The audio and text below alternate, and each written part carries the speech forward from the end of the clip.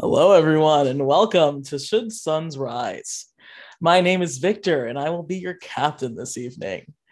Um, so, this is a Once More Into the Void actual play.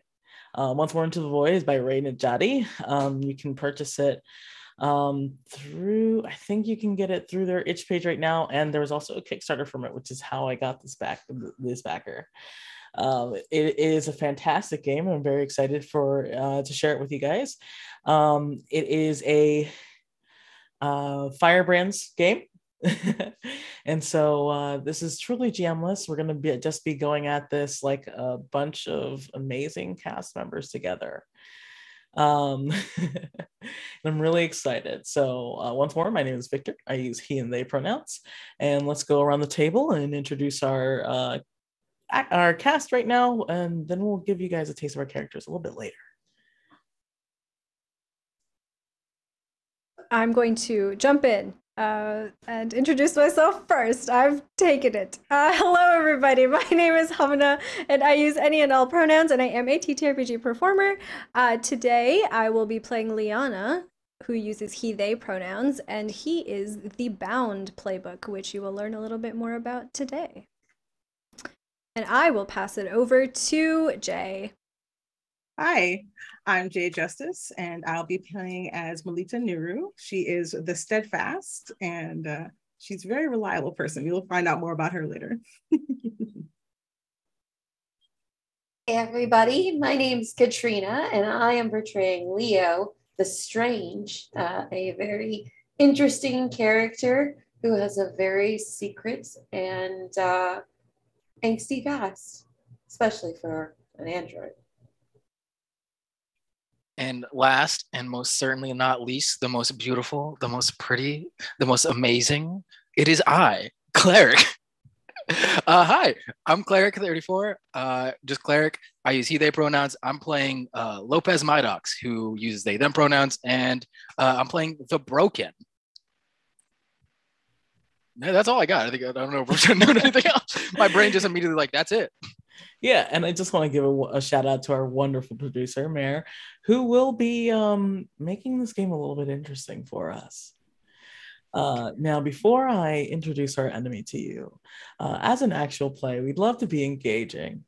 And so um, we're upping the tension of this game. Uh, after each mini game, that we play, there are card pool card pulls that either increase the loyalty between everyone or make our enemies stronger. Now, the numbers on these cards are very important for our final mission. However, we aren't going to know what those numbers are. We will know if we have cards in our hand. We will know that the enemies have cards in their deck, but we don't know how powerful our enemies are or how powerful we have become throughout this journey. and I do love that tension. You know, when we were deciding it, it was like, wow, this would be so much fun. But now that you vocalized it and we're now going forward, I've I'm so tense from this jump. Pain is coming. yes. Well, we are thinking about a way that um, the audience might be able to cut the tension or raise it if by telling us the numbers. But we'll uh, get to that maybe in our second game. We'll make sure that these are a little bit. Uh, their introduction is very important after all. okay, folks. So before um, we got started, so before we start um, this amazing journey into uh, what's probably going to be a wonderful space opera. Uh, the enemy that we are facing is very important. And so our enemy is the android army and their leader, Cordon Legume. Now, they are trying to set back time to a place where they can rule. And the stakes are all of organic life. So, uh, with that being said, uh, we can sort of uh, in the once more into the void. There's an extended game. That's what we'll be playing over these next few weeks, And there are questions that each member of the crew has to answer. And since I don't really have, uh, since I'll be guiding us through recruitment and introducing all of the crew to you guys, I'll go ahead and answer my question first. My question is You once had a heroic reputation. How did the enemy secretly help you gain it? Um, Anarhk, the captain of our broken crew, only became a hero after the enemies destroyed his squad and he took the place of the most heroic member and faked himself under that identity for years. And uh, that is the captain's enemy question. And I hope that that helps color all of the interactions to come. Because now it's time for recruitment. And we'll start by recruiting well, the broken is in the name. Cleric, why don't you introduce your character to us? So I'm gonna set the scene a bit for everyone. You know, have fun setting the scene. So we kind of zoom in on this very much as like this like uh desert planet uh with like kind of most artly kind of vibes of like Tatooine of this this sand like planet. And suddenly there is like you see a figure kind of just like walking through the sand, like hood covered, uh, like completely in a poncho, like kind of just walking into the sun, just dragging like a giant space worm behind them. With like as like the wind kind of picks up, you see like the like wind goes to the side, you see like a weapon strapped to their side, like a space, like a laser gun uh, on there, but like a suit of like armor or a, a space suit on the legs. You see them dragging it out, and they finally like enter this hut that's in the middle of the sand, like just this very much as a dune house. And finally, as they drag like the carcass in and like take off their uh, take off their hood, you see kind of just this spacesuit, like like kind of a mix of like Spartan armor and like Quarian armor for Mass Effect kind of kind of vibe of like this kind of spacesuit with all these like uh militaristic yet like gauges on them gauges that like say if you zoom like kind of look at it uh it said have like temperature have like oxygen level co2 levels like things of that sort all along the side uh just kind of monitoring it. And uh as they walk into the into this room you see them kind of look at it and on this but on their left kind of chest, on their left side, is the scratch, like a very scratched off name tag that looks like uh, dog tags insignia with a scratched off last name, but all it says is Lopez on the side.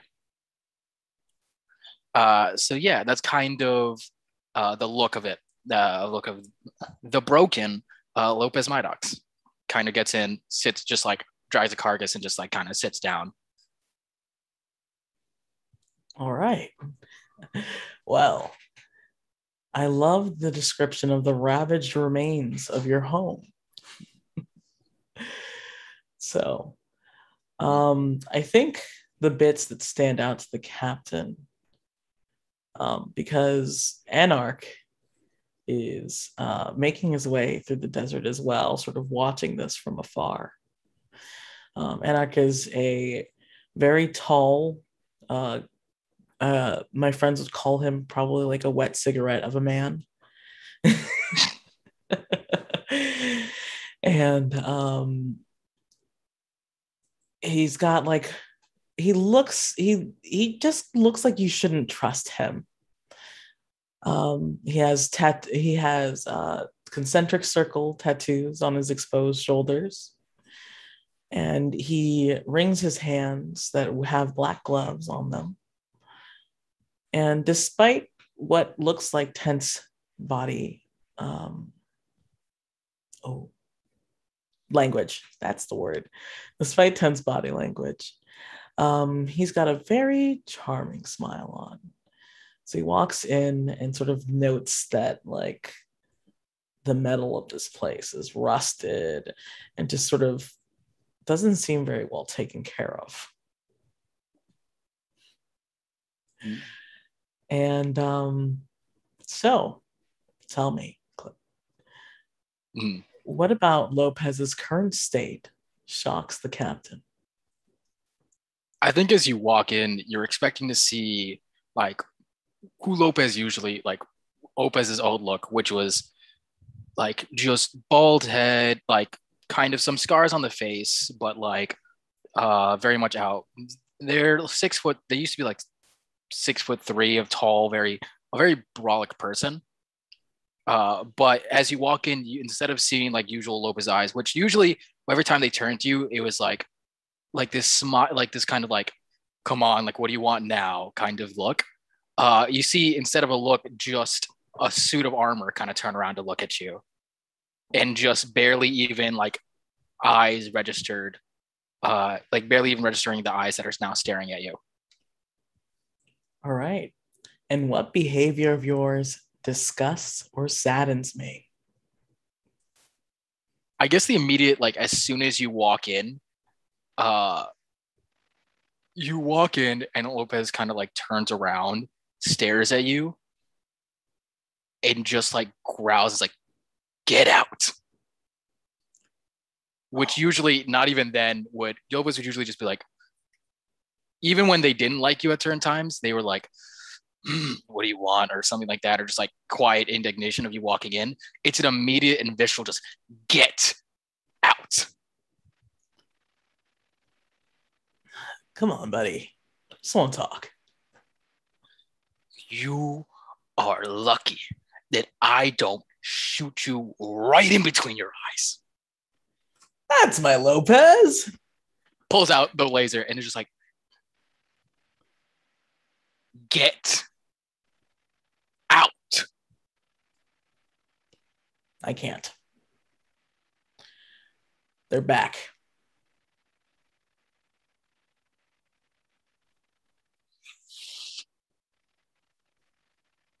And how is that my concern?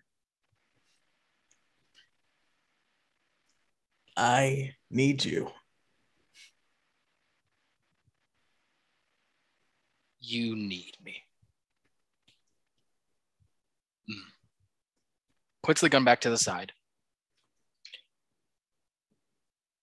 You needed me to hold, to blow up that factory.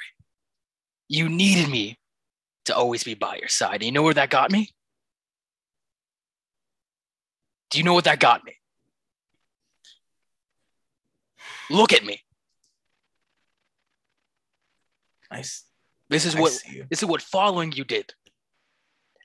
I think I've suffered it. I think I've I think I've been needed by you enough.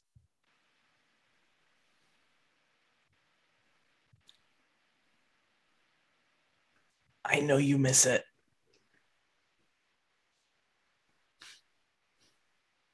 I miss it. I miss what? Lasers shooting at me, always having to pull your ass out of the fire, always being what everyone needs. I'm good in my little hut here. I'm safe. I am fine. I am good.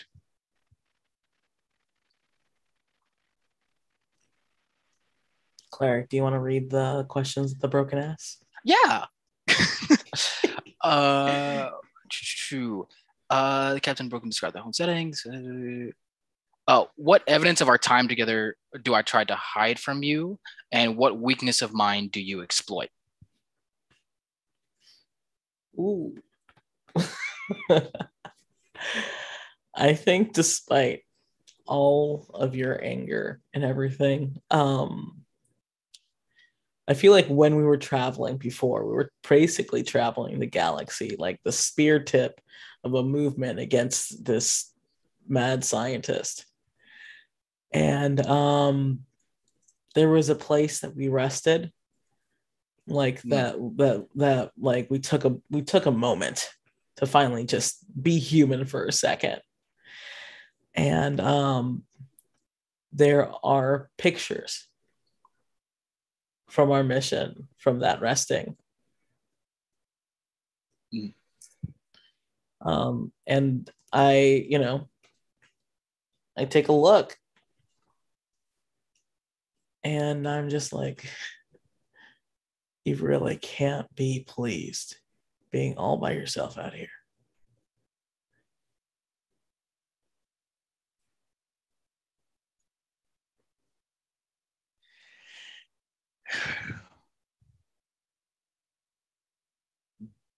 Being out here, I don't hurt. And I take the photo from your hand and kind of look at it. And is it a question? Is it a photo of like the whole crew? I think it's a photo of the whole crew. Yeah. And it's just like,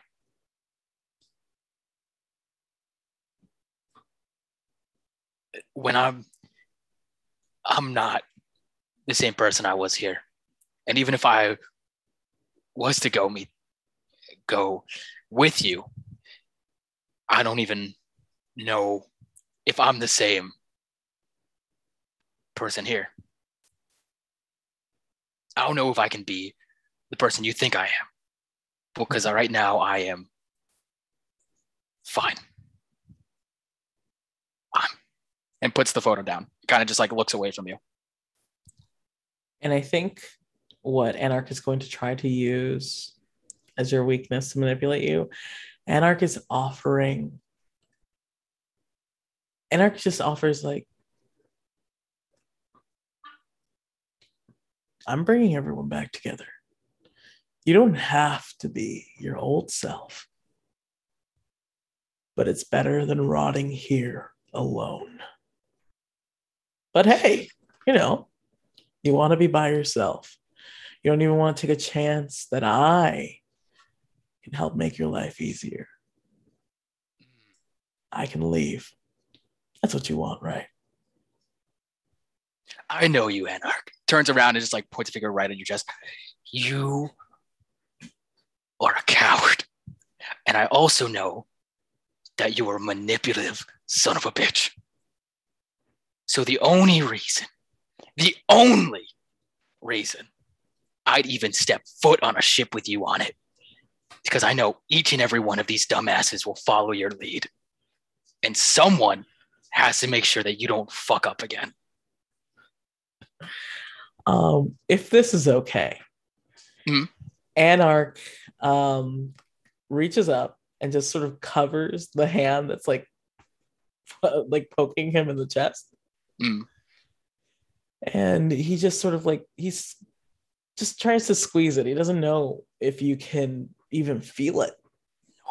And he's just like and it's not like an aggressive squeeze. It's, it's like a it's like a like just almost like that little bit of emotion creeps past that like frustrating smile. And his smarmy little voice drops down. And he's like see i need you. You're going to keep me in line and um, I think to begin the little uh, moments that happened during the recruitments, I'm going to admit feelings uh, that we never thought that we'd say out loud. I fucked up. I lost my family at the beginning of this. I never thought that I wouldn't have the time to say this but you're like my family. Mm. And we're lucky we had the time to say this. So let's make it so we have more time to be a fucked up little family.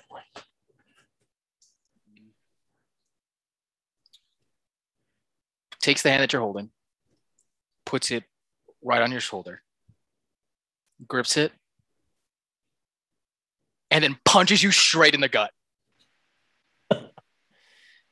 Um, yeah, uh, Anarhk coughs, and um, I think he uh, like he folds over and he looks up with like a smirk, and he's like, uh, "Love that sentiment. I knew you missed me." Where's the ship? Uh, well, We're gonna have to walk to it. Fuck. We're gonna have to walk to it. But it's All nearby. right. And cleric, you choose one other moment. Uh, let me scroll down here. Uh, I think I'll do.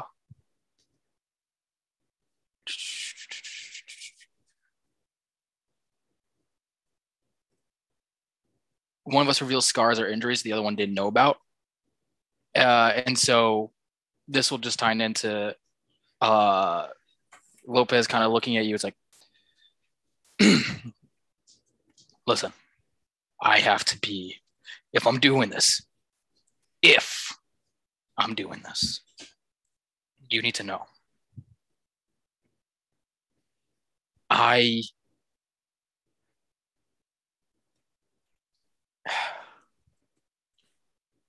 and kind of turns and like takes off the full like poncho that they're wearing and so you see the full suit of just like armor and then you also you would make the immediate connection that this is like a light like half life support suit half like uh like military armor that like lopez kind of made themselves and fashioned.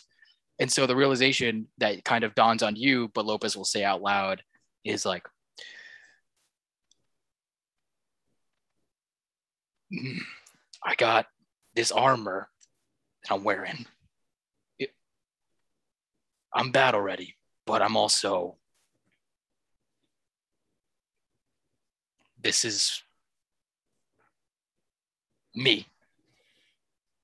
The suit, the doctors tried to fix me up since uh, after that, the last mission we went on. Tried, I didn't really make it out completely, and they uh, put me in this suit that helps me walk and breathe and function.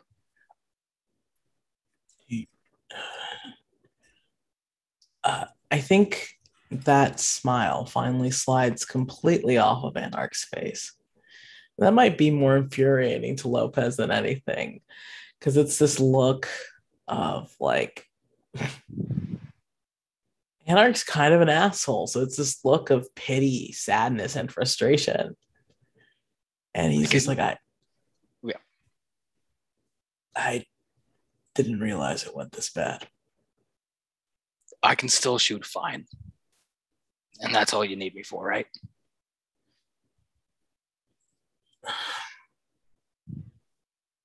I you said that you'd help them not make bad choices with me. So I need you for that too. Yeah. Yeah.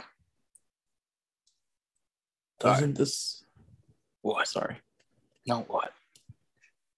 Doesn't this need like a lot of upkeep? Like if you leave here, are you still gonna be able to I know my limitations. Then I know as long as I keep everything in order and do everything I'm supposed to, it'll be fine.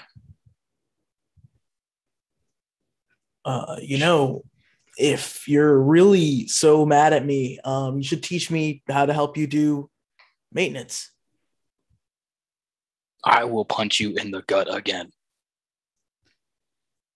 You are never, ever touching me or this armor. I wouldn't trust you with a butter knife. I wouldn't trust you with a bobbit. All right. I won't trust you and starts walking out the door, just listening everything. I wouldn't trust you with.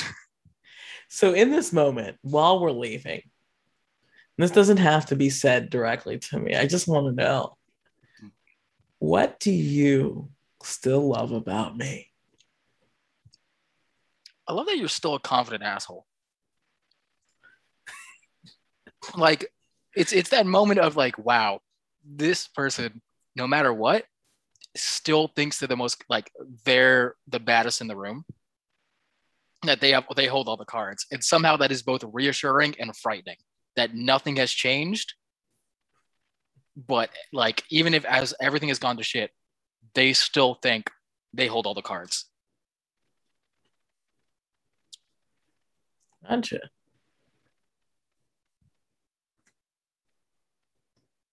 You can ask your question of me if you like. Uh, um, trying to find it. It's under ending the fall. Yes. Uh, what faded hope do you see in me?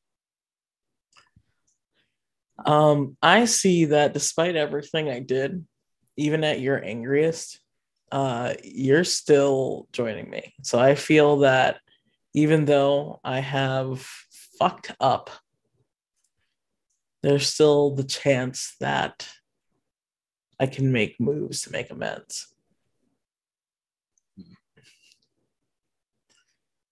All right. And now we draw our cards. Oh, oh Okay. no, this is So I'm drawing a card for both of you, right?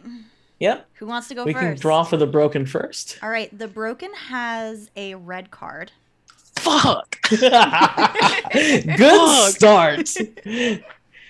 All right. Uh, Cleric, what happens when we draw a red card? Well, the enemy that we're fighting gets stronger. and we get a brief glimpse of the enemy and how they become more terrifying. Um I think they know that you're that you're recruiting and that you recruited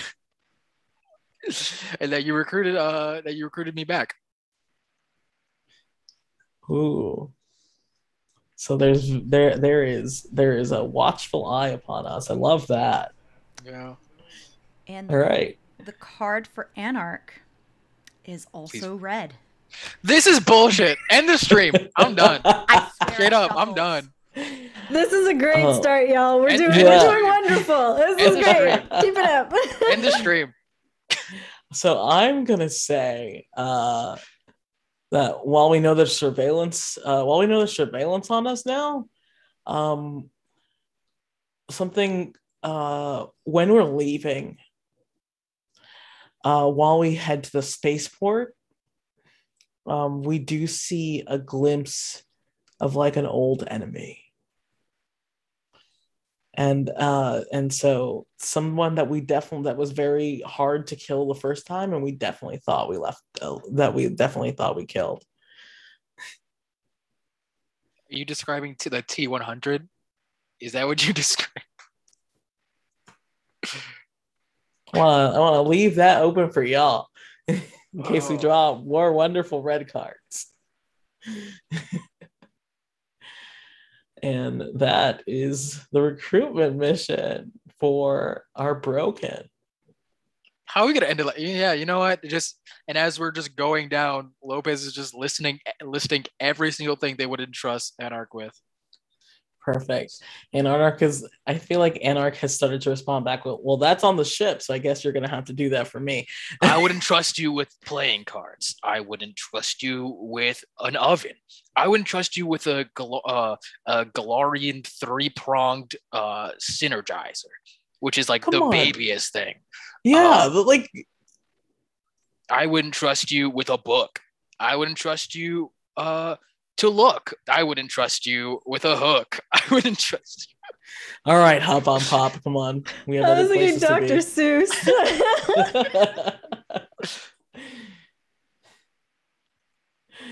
oh, I love it.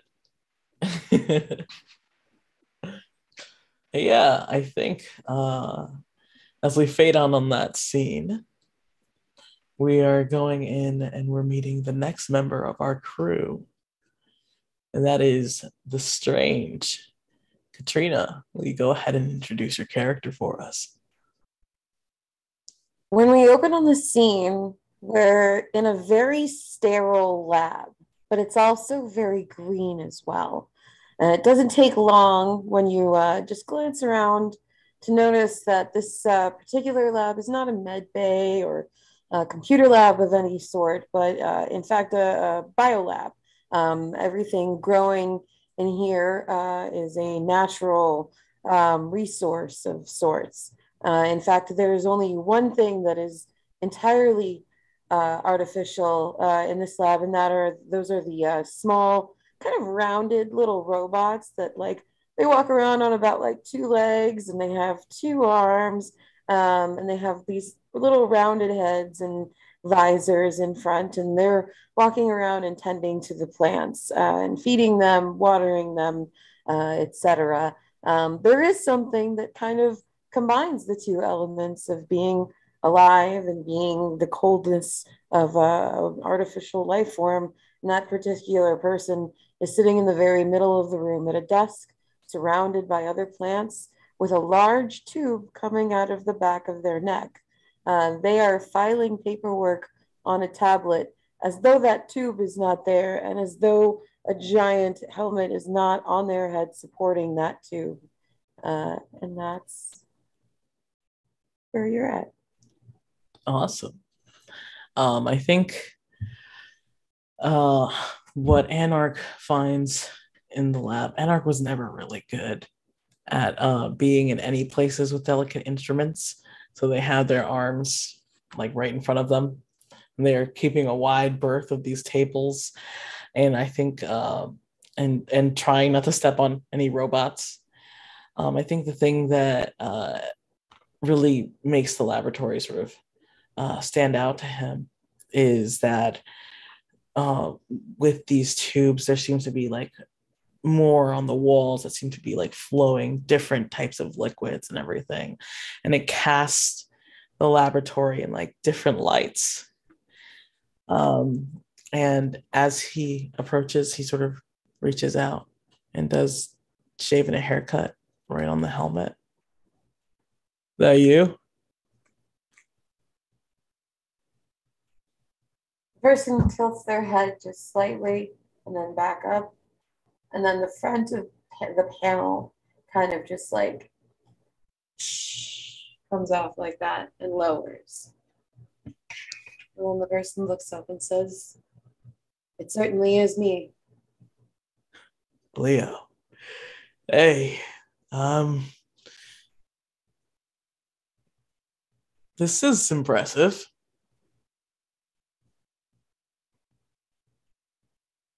It's a day job. Sounds like you hate it. I like my daytime work. It's quieter here. There's a little less socialization required. Well, the Leo I remember loved socialization, didn't really like isolation that much. The Leo you remember was a different person. I've gained so much more knowledge in the time I have been departed from our crew, I suppose you could have called it. I'm smarter now. I like the day job. Well, what what type of important work are you doing? Today I'm working on repopulating what may be very soon an extinct plant on the surface level of the moon below. If I can revive this plant, the fauna that feed on it will thrive and also not go extinct. And that will cause a major domino effect and take down the full system. But it all starts with this plant. Mm. Anarhk just looks uh Anarhk goes from like looking like really like schmoozy to very uncomfortable about like, oh, that actually sounds very important.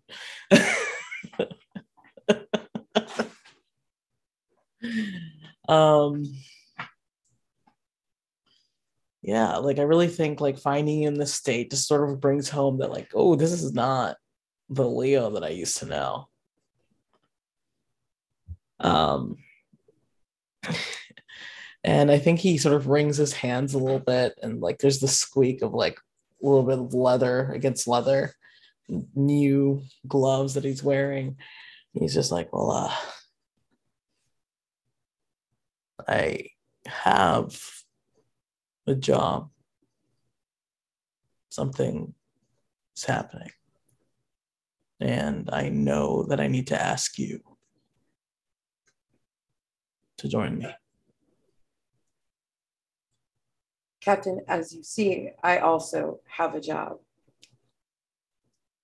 Yes. Certainly, there's someone else you can find. It is about your maker. What about him? He's back.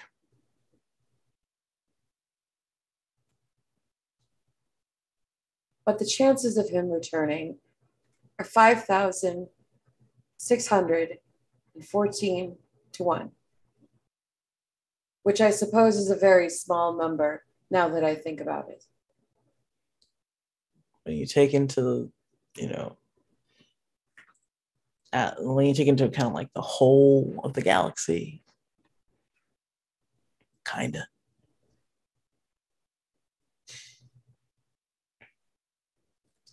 Leo takes a moment to look over, survey the work, all the little bots doing their work, um, and looks down at the tablet that they were working on and hits three buttons. Uh, and the droids continue doing their thing. Leo looks back up and sort of folds their hands in front of them and stares at the captain and says, Explain to me the gravity of this mission. Glad to. Um, I think um, what Leo notices is that Anarhk is very relieved the second that you ask that. Um, and again, like that that smile comes very quick back to his face. Well, I have it on good authority that your maker is back, and there are more of uh well not use. Nothing could ever be you. But something that I think he's trying to catch that flash in the pan again.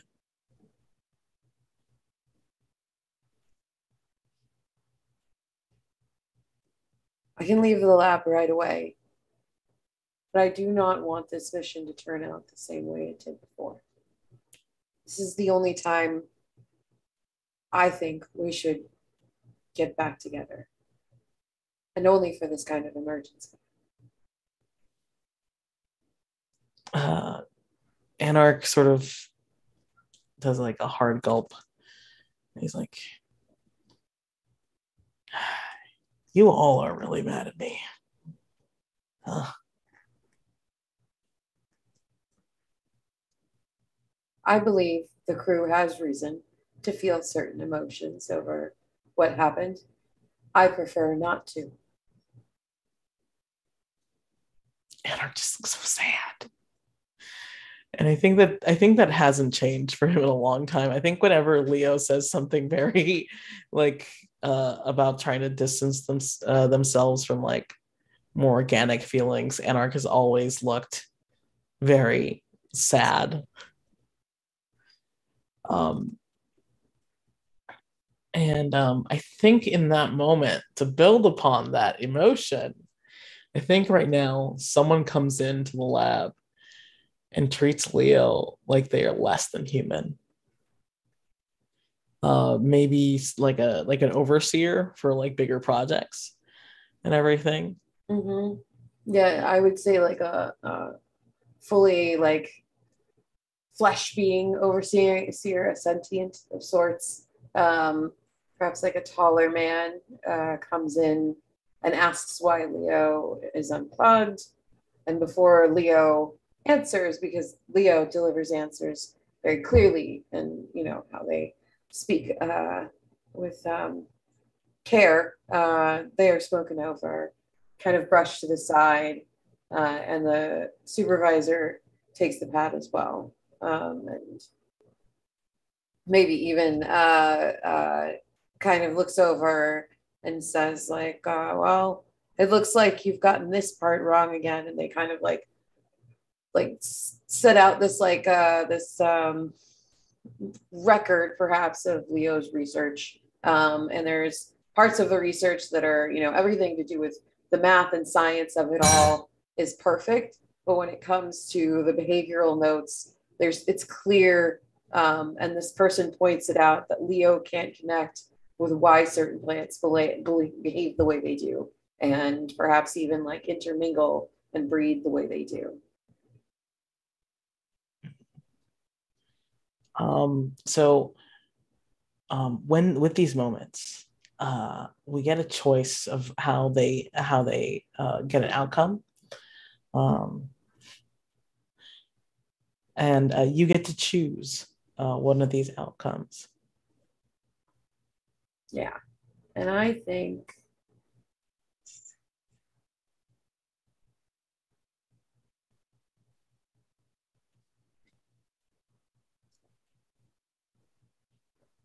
Leo is going to pointedly stare at this biologist. Uh, Leo's not a very violent, uh, you know, android, um, but they also you know they don't uh, enjoy being talked down to. Um, and so i think leo will slowly turn and just blankly stare and ask is that all? and just keep staring. And hopefully that would be that'll be a cue for anarhk to join in and be just as eerie. Oh yeah. Like leo can see the way that anarhk is very bad at hiding his bad his body language except for like his face. But he, he uh, Leo can see the way, like from the toes up, like the the way that the body tenses, the way that he turns, like he's about to just sort of let fly all the rude words that Leo knows that Anarhk has. And then he takes the cue and it comes back and it goes in and it's just this very angry stare with no words until this researcher sort of like, hmm, I'm uncomfortable. mm. And um, I think when he leaves, Anarhk sort of like is gritting his teeth. And it's just like, mm, I should have socked him in the face. It's fine. The turnover here is pretty fast with sentience. I mean, I guess you're turning over right now too. Sentient. I wouldn't call myself full sentient or full turning over. Well, I would call you full sentient. You know as well as I do that I lack a number of things that a normal person would have. I mean, technically speaking, with uh, the very the very legitimate feelings that everyone has towards me, I kind of do too.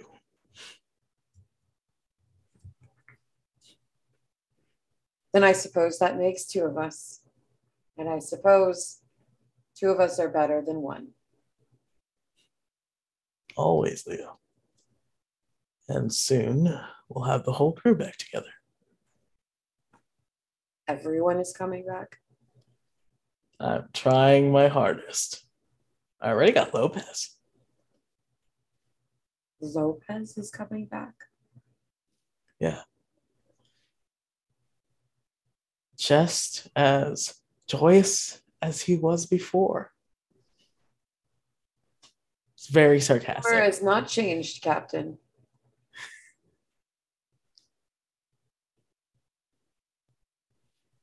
Sorry, can you repeat that? Very well. All right. Um, we can go ahead and choose the next moment if you like. Yeah. Uh, so for the next moment, uh, I think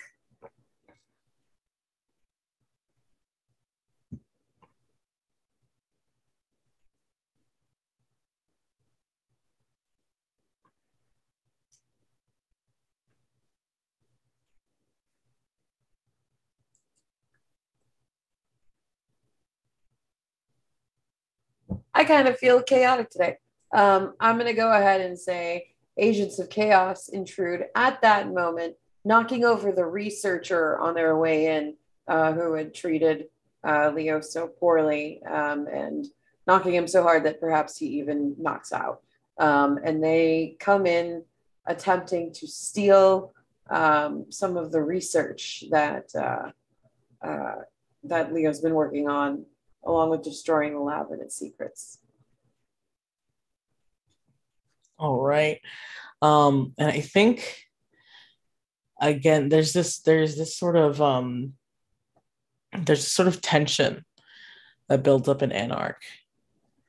And I think the thing that is very different that Leo um, will clock on this is that Anarhk rarely tried to be a direct part of the fighting back when we were all together.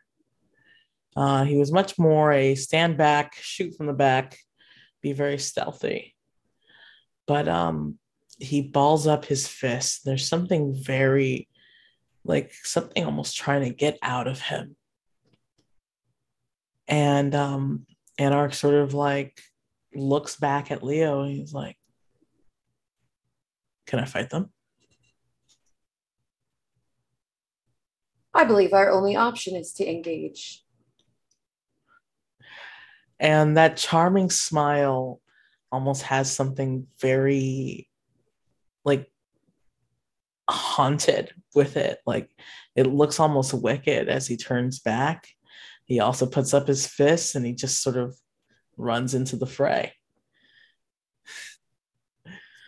Leo follows uh, suit, as in going the direct opposite way, so that they kind of like go outwards with cameras in the middle, and they're like out that way. Um, and the thing about Leo is that Leo's an android, so like they have like robot parts and are heavier, I would say, than their body type and build would give off. So punching for Leo is pretty easy because Leo's punches weigh like 20 pounds each. Um, so that's entirely like their method of fighting because that's you know they're they're a surprising uh, brawler, I would say, and so um, Anarhk and Leo are like no strangers, I think, to fights. And we would see that, like, even though Leo's been so resistant and so hesitant and doesn't want to go back to uh, something that obviously has broken them and broken their belief, um, it's like, you know, riding a bike, fighting next to the captain again. Uh, mm-hmm. there's, they're perfectly in sync. I love that. yeah, and I think again, Leo, um, the captain only really fought hand like hand to hand in the past when things have gone terribly wrong. uh, but right now, like there is this similar, there's almost like this similar sort of weight uh, as he sort of like hauls back and uh, fights through these agents of chaos before we uh, escape the lab. Um, and I think as soon as we're outside, Anarhk is just full belly laughing, like covering his face and just sort of like, oh my goodness, I needed that. yeah, Leo kind of like pulls up their fists and like looks at them and like dusts them off a little bit, you know.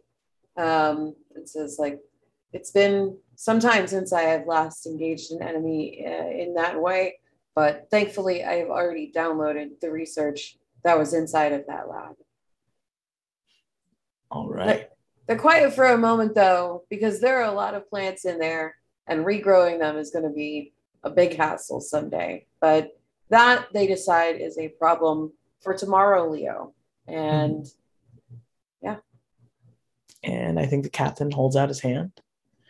And uh Leo, how do I give you fragile hope?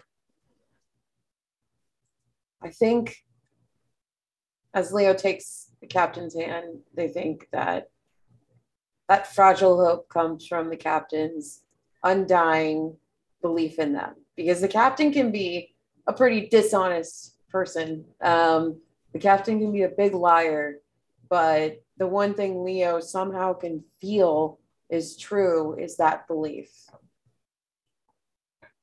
I love that.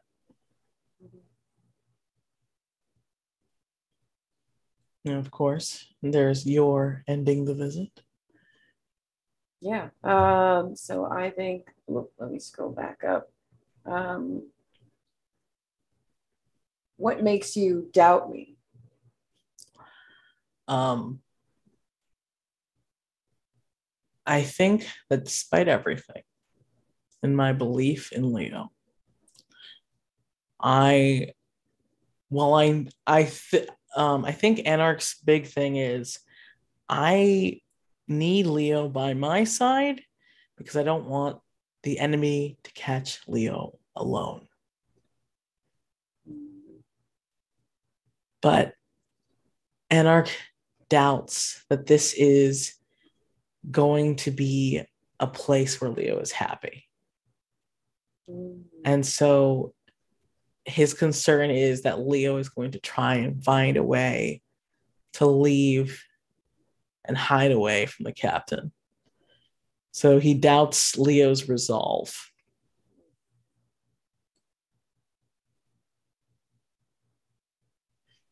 And that's cards now, baby.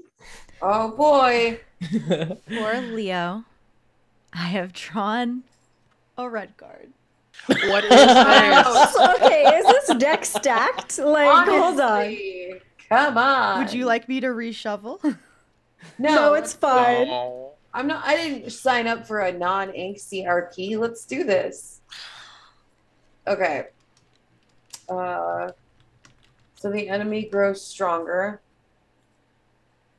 A brief glimpse of the enemy. Okay. Um, but as as Leo and Anarhk like take each other's hands, something like like this electric current like hits Leo somewhere in the back of their neck, like near where that that tube was.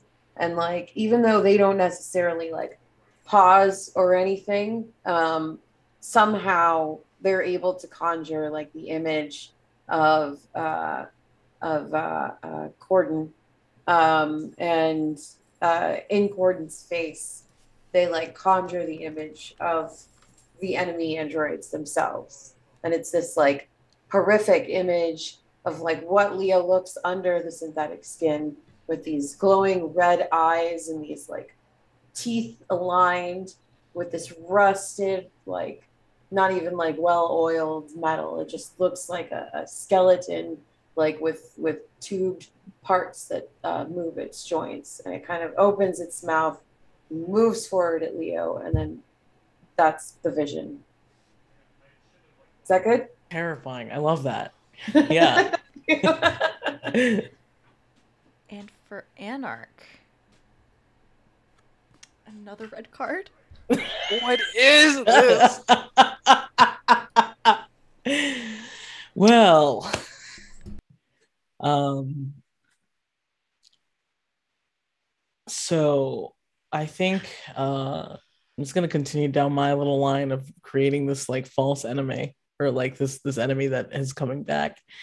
I think this time um, we barely escape a weapon like being thrown through the air and sort of sinking like a plasma weapon sinking into the wall next to us. And it is a very distinct plasma weapon. It's like a trident um, from an from an old enemy.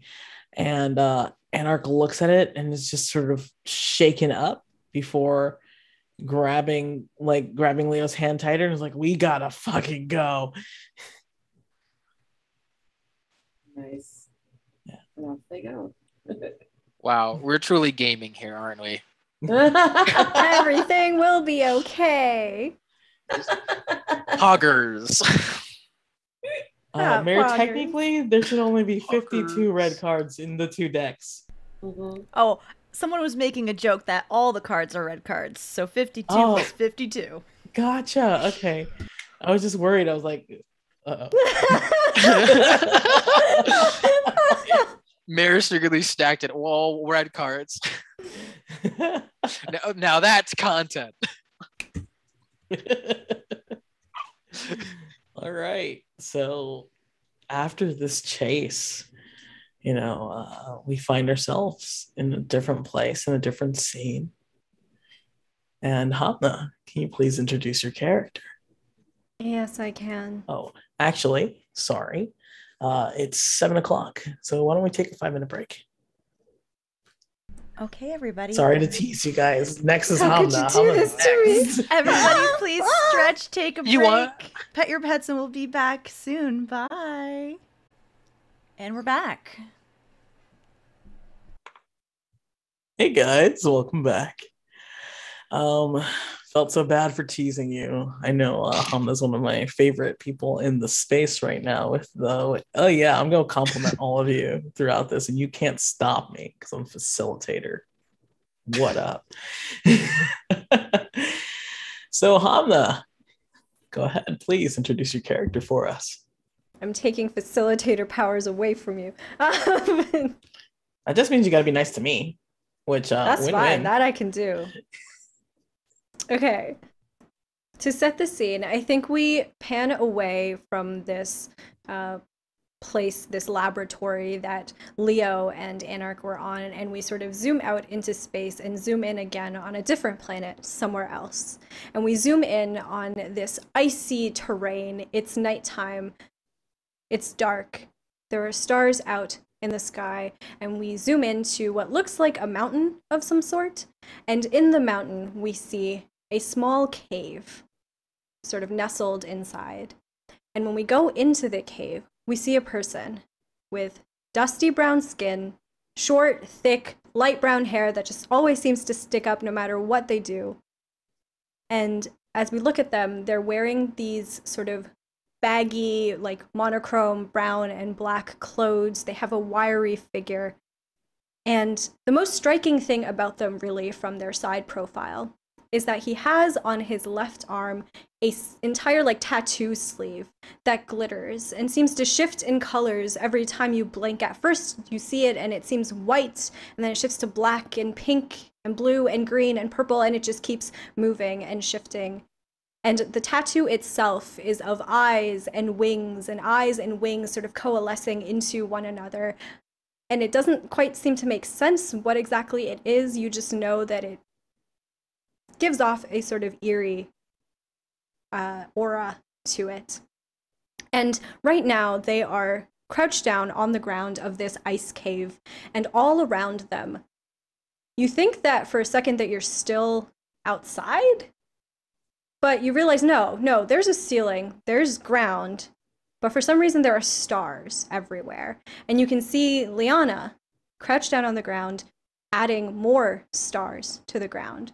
But when you look closer, they're not actually stars at all, but eyes blinking every now and then. When you think a star is glittering, it's actually just an eye blinking here, along the ceiling, along the walls, along the floor. And they are currently in the midst of a ritual. When you walk in, Anarhk, Um, I think what's the first thing that strikes Anarhk about this ritual is the eyes. Um, when he realizes what it is, but there's also seems to be like this faint, uh, like not song, not words, but almost like a chant that seems to be like permeating through, but coming from who? From nowhere, from everywhere. It sort of inst- like instills a little bit of fear in Anarhk, but there's also an amount of awe. And as he steps forward, he um, clears his throat. Hello there, old friend. The figure doesn't respond at first, just rises slowly. And when Lyana turns to face you, you can see on their right cheek this scar that like slashes across their entire right cheek. It is sort of like a black, as if some sort of uh, ooze or ink had been splashed across their face, almost in the shape of flowing water. But there's a slight purple pink tinge to it, as- if it had been bruised recently. And this, you recall, was your parting gift to Lyana from our last mission. And as they turn to look at you, their dark green eyes with this piercing gaze that sparkles. You're not quite sure whether it sparkles on its own or whether it's because of all of these stars, these eyes that are inside of this cave, but they sparkle. as they look at you, and a smile comes across Lyana's face. Captain, it's been quite some time, hasn't it? Too too long. I uh I hope I'm not disturbing this, disrupting. You're You going are. here. Actually, Ah. I can wait outside. no, that's okay.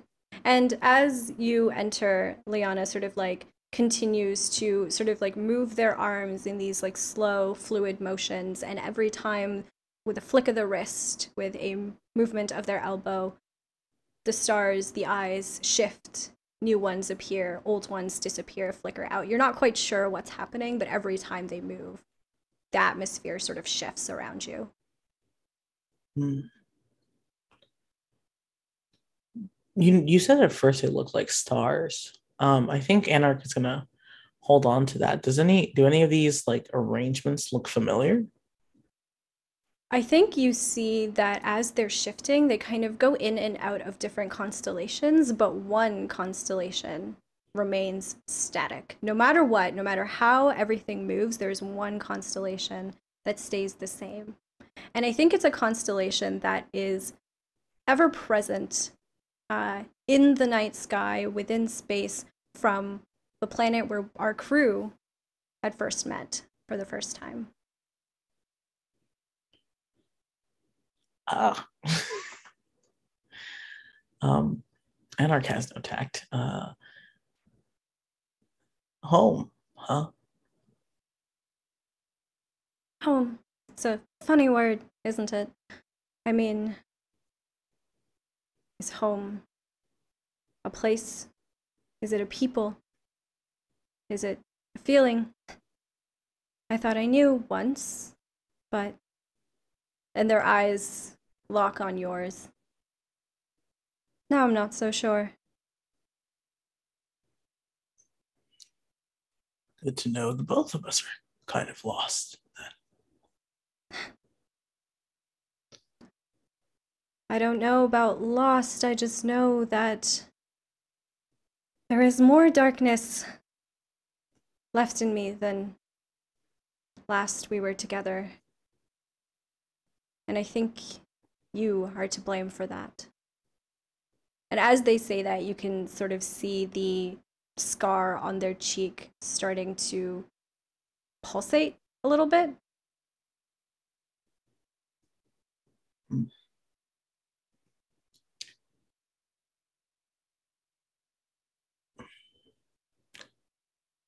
If it matters. And it apologies are usually for the person apologizing more than I'm sorry about the way things ended. I know. You're always sorry, Anarhk. No matter what you do, you always have something to apologize for, don't you? I don't apologize for bringing the crew together. Do you apologize for tearing us apart then?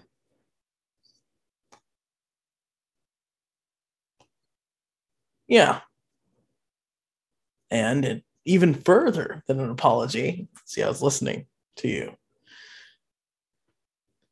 I'm taking actions to correct it and to correct another mistake I made. The they're back.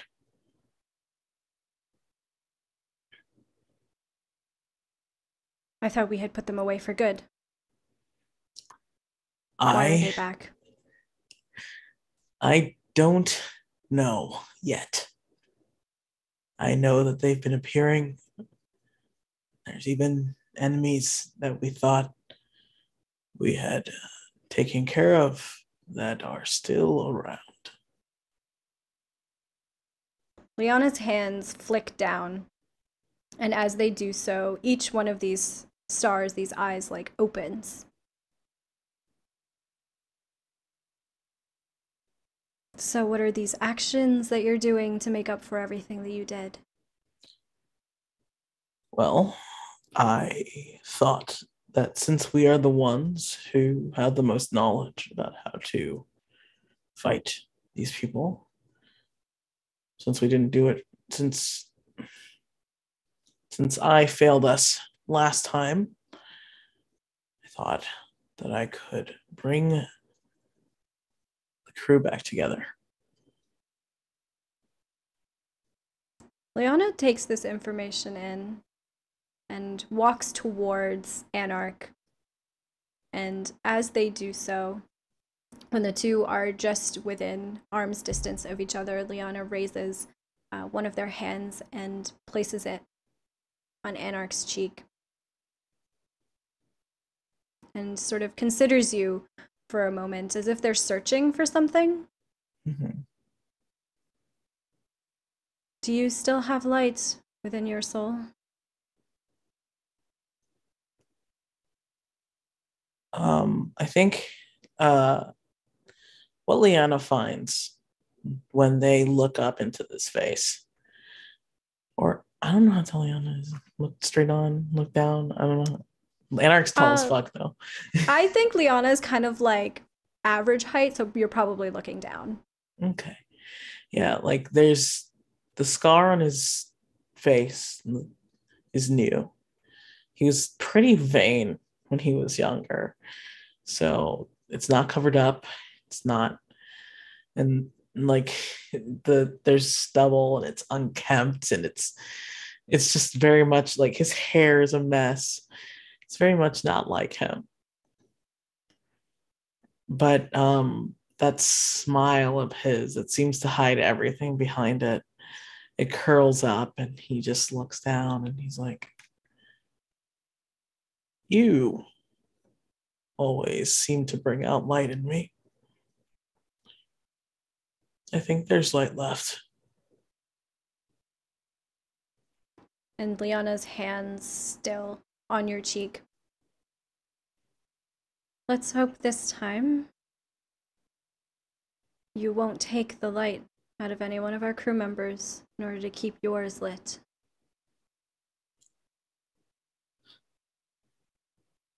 Yana, believe me. I. I'd rather go dark first now. Then you still haven't learned a thing. Damn, I really thought that would be the right answer. Okay. And I think Lyana chuckles a little bit at that, uh, taking their hand away.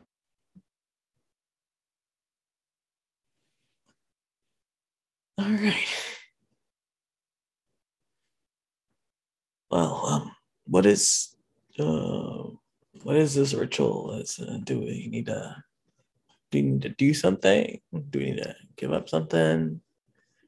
Lyana takes your hand in his and walks you to the middle of this cave. So you are in the center of it, and it's uncomfortable because all of these eyes are staring down at you.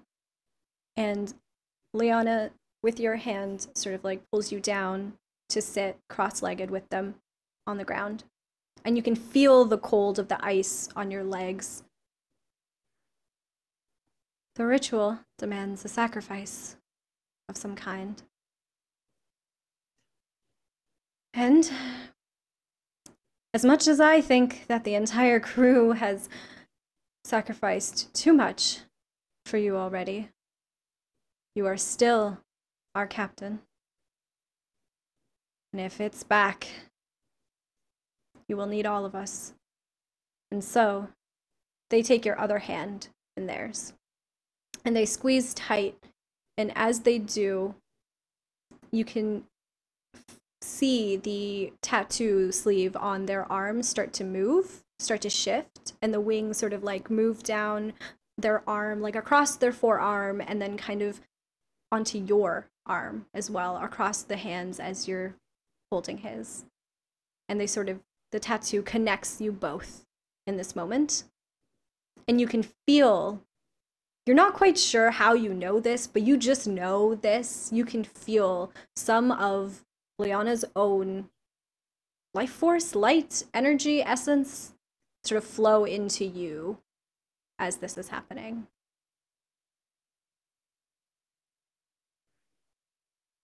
Um, I think uh, there's like a there's like a shock in Anarhk for a moment, and there's this sort of like fear that sort of breaks onto like a very haunted look. There's no lie here, there's no secret. And all that Anarhk is putting forward right now falls away. And all you see is this haunted, stubborn asshole who's trekked his ass up a fucking mountain to bother you. And um, I think he um, raises like the hand that isn't doesn't have like the tattoo, like joining the both of you and he bites off the glove that he's been wearing.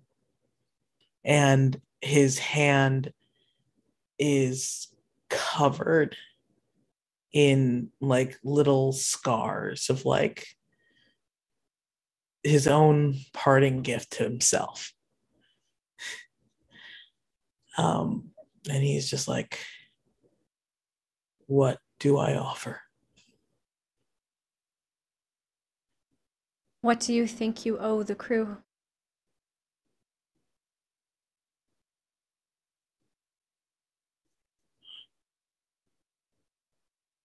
A better captain.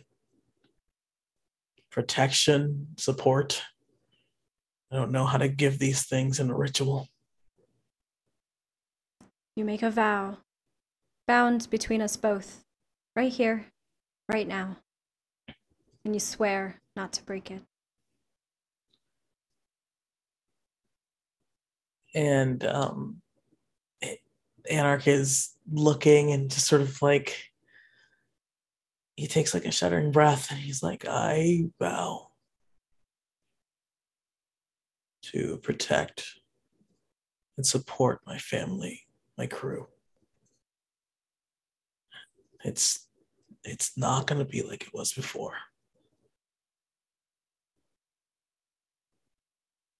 And I, in turn, will vow to stand by you throughout this mission only if you deserve it.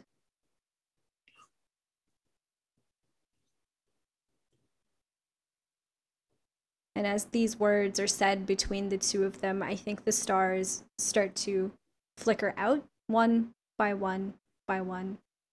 It's a slow process at first, and then entire constellations disappear until that one constellation, the one of home, remains, towering above them. And you know that the ritual is complete. Nice.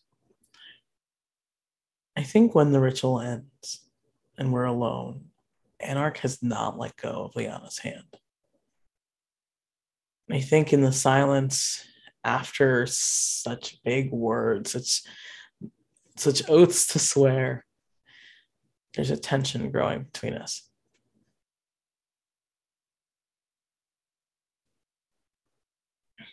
And I think, you know, he can't help but be looking and trying to decide what he needs to say.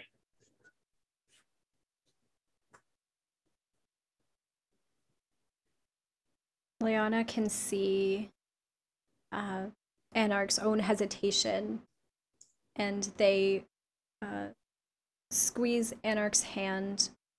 And as the ritual is ending, the tattoo starts to sort of fade away from Anarhk's body and back up onto its rightful place in Lyana's arm. And it continues to shift and pulsate with light as the two of them, I think, share a quiet moment looking at each other with a vow made between the two of them, magically sealed, should it ever break. really love that. So tell me, with these vows magically sealed, what will make you break your vows?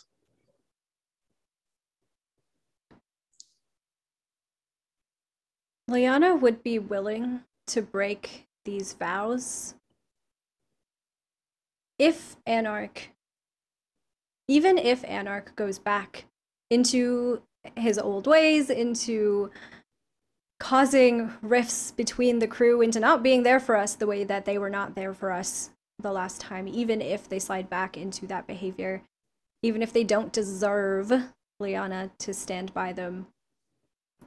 I think Lyana would if Anarhk can show that there is still a possibility, an inkling, just a little tiny glimmer of hope that he could change. Theoretically, maybe one day. If Lyana just tried hard enough. Maybe. And I ask you, Captain, why will you never be as faithful as I? Um, because in the end, uh, my heart is drawn in so many different, like, drawn in so many different directions that there's just a sort of like sense that, like, how could I be ultimately faithful to one or even like a couple, a few things when there are so many things demanding my attention and care.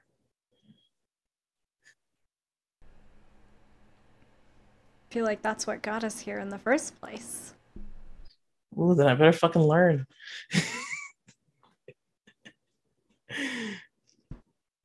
All right. Card keeper. The cards for Lyana. We have a black card. Oh, thank God.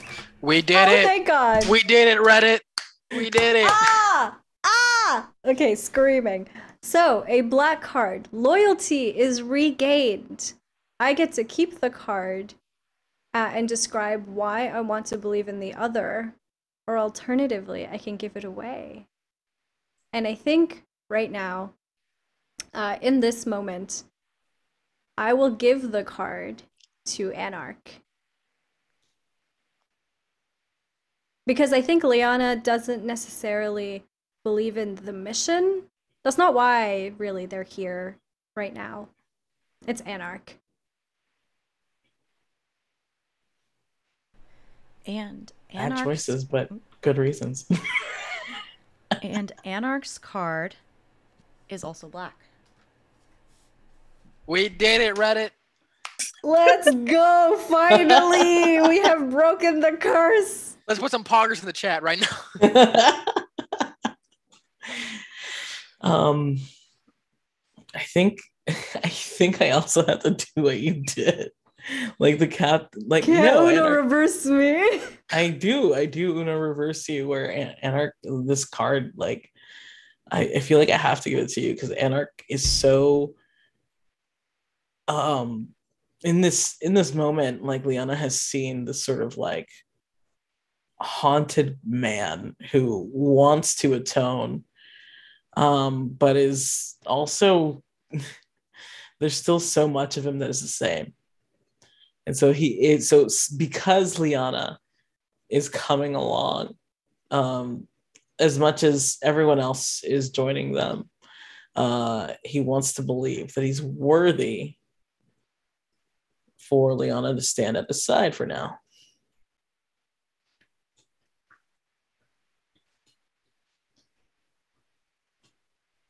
I'm gonna be praying for your downfall. I love it. Please bring that energy. It's so fun. All right. and yeah, I think it's I think that's it's sort of like peters out as them walking down an icy mountain, maybe as the snow starts to fall. Just dangerous. It's very dangerous.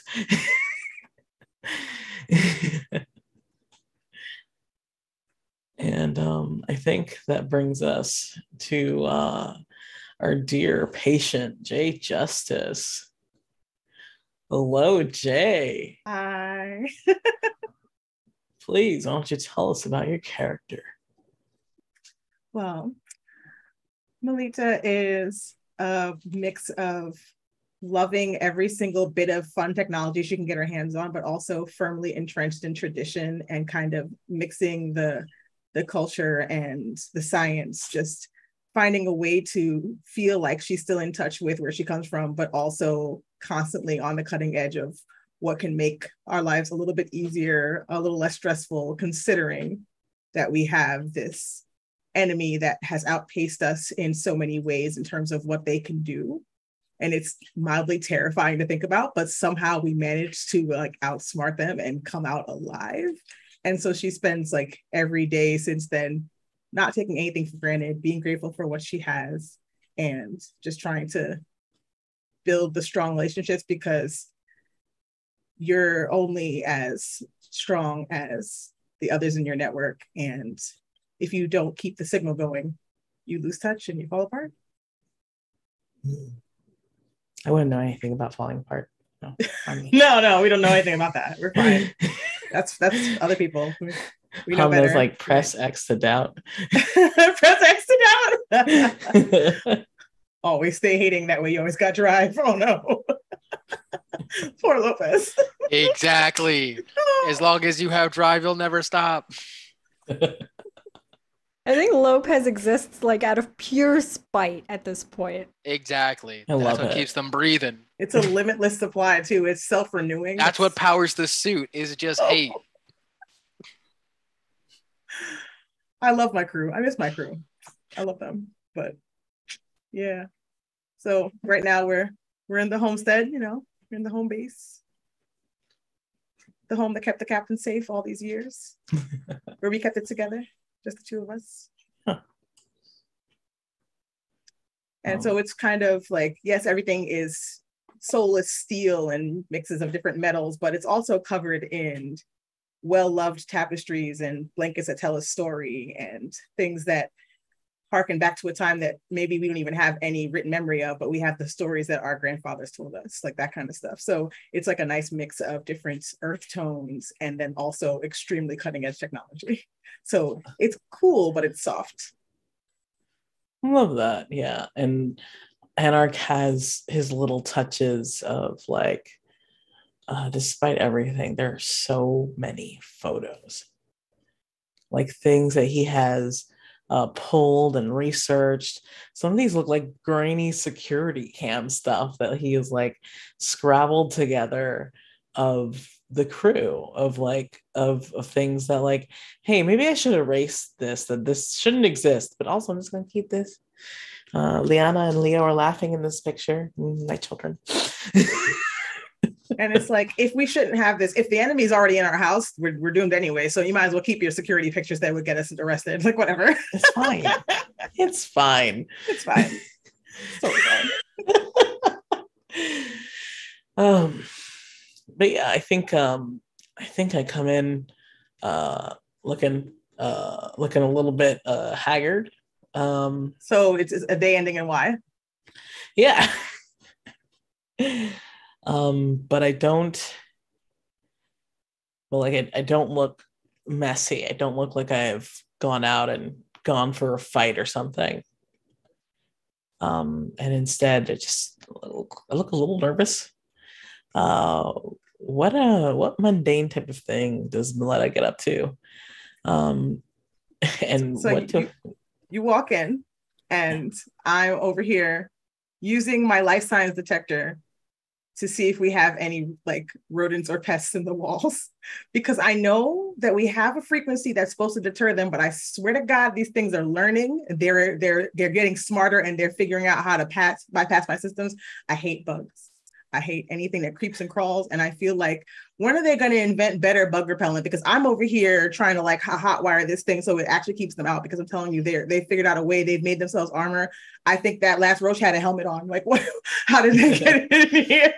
um, and I think Anarhk uh, gets up close and sort of um, almost tries to sneak up on Letta, and he, he just says, uh, "You know, we could try the candle thing again."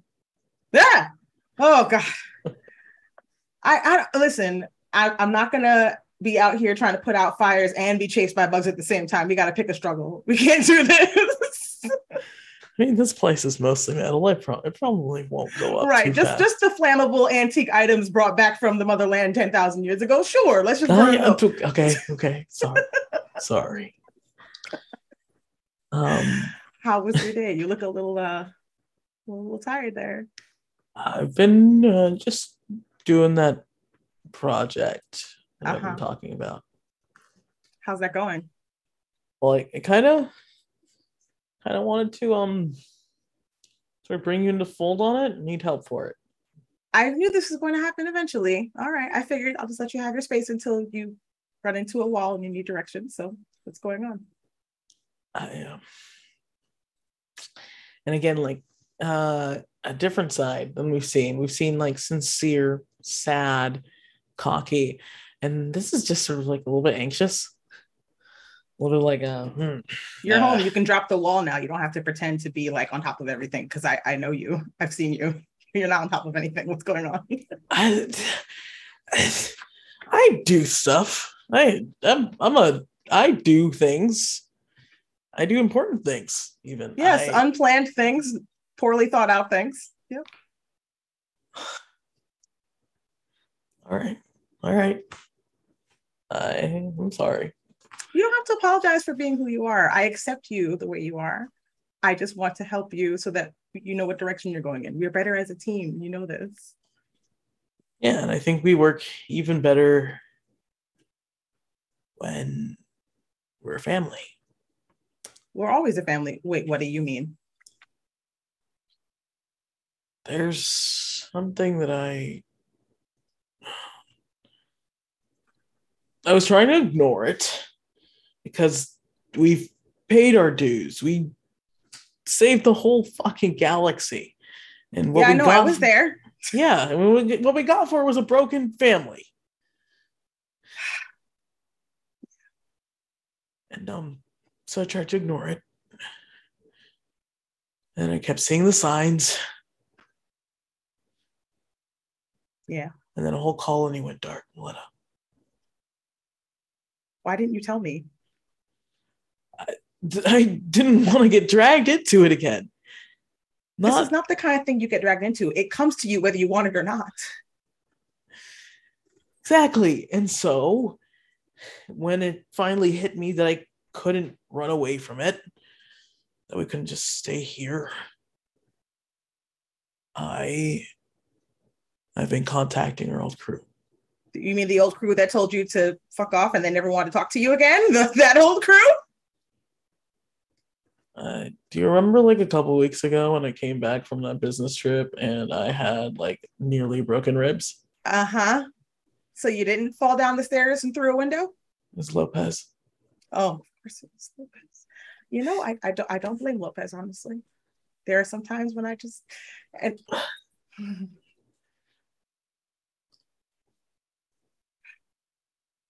if we can't run away from it, I don't want. If it's just the two of us, it'll be even harder. So I went to ask everyone if they'd come back. what, did they say? They said yes. I'm honestly impressed because I did not think you'd be able to even convince any of them.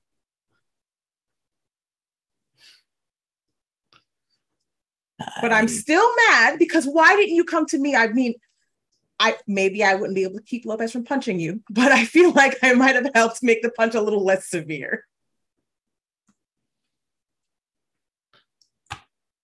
I, well, you know that before I was very reckless and gung ho, and I still am. I'm not going to say that I'm not.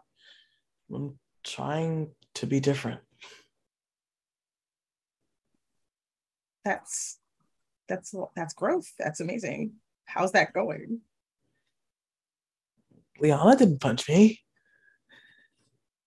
Lyana's a saint. Yeah, but I would have deserved it. yeah. So we're really we're really doing this. I mean, yeah. I, I know. I just need you. I feel like you say you're going to change, but then you don't tell me when you're doing things. So I'm still sitting here in the dark, getting this dropped on me out of nowhere when you've already made all these decisions by yourself. So how have you changed? Or do you just change for everyone else and not for me? Uh, um. Yeah, no, I fucked up again. So, um, you're my right hand. I, Am I though? You don't even talk to me anymore. I swear. We're we're as close as we ever been, but we feel so far apart sometimes. You sit here and you worry and you stress and you tell me everything is fine. And then you go out and you nearly get yourself beaten to death. And honestly, you would have deserved it. But what? I just don't understand. What do you really want? Because if you want us to be a family, if you want us to be stronger together, then why do you keep pushing me away? Even though you say we need each other and you say that we have to do this, but I'm not I'm not feeling anything behind those words. I don't understand you.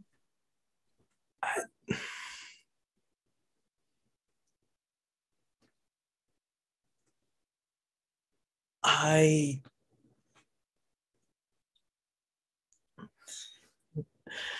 uh, you've wasted so much of your life sitting here with me where I have been throwing a big fucking tantrum about thinking I was right when everything blew up. And now I've realized I'm wrong and I'm ashamed. I'm ashamed that you have spent this much time with a loser. First of all, you don't get to tell me whether or not I've wasted my time. Are you telling me that you can never change, that you can never be the person that I know you can be? No, How is it a waste if we've at least been trying to live up to the best of ourselves? Because at the at the height of everything, I swear we were unstoppable. We did something amazing together, and you act like you're not the same person. Like, wh- what happened to you? Like, why don't you talk to me about what really is going on? Um, I don't think Anarhk has a verbal answer. He he looks lost, he looks frustrated, and he doesn't know what to say. But like he reaches out. He has, of course, they're in the house. So he reaches out, gloves off, to try and like touch Mleta's hands, hold them in his, to try and reach some physical sense of understanding because he can't figure out the words. He doesn't know what else to say. Are you having an anxiety attack right now? Are you okay? A little bit. But that's not really, you're upset, and I don't really want to focus on me right now. Yeah, I know that's the usual cycle. You lie, I get upset. And then you get upset, and I spend the rest of the evening comforting you because you are our captain and we need you to get yourself together to be the best that you can be so we can function as a team. Because when you're on, you are on. And when you are off, you are off. And you're not a machine, you're a person, and you're allowed to have moments of weakness. You're allowed to have epochs of weakness if you have to. I want to give you that space to do that.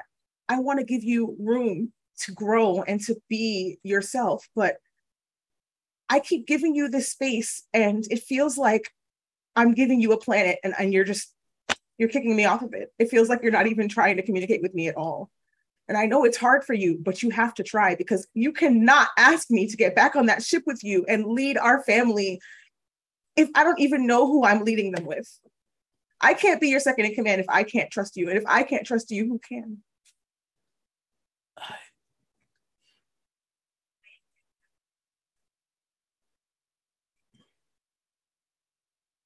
You're right.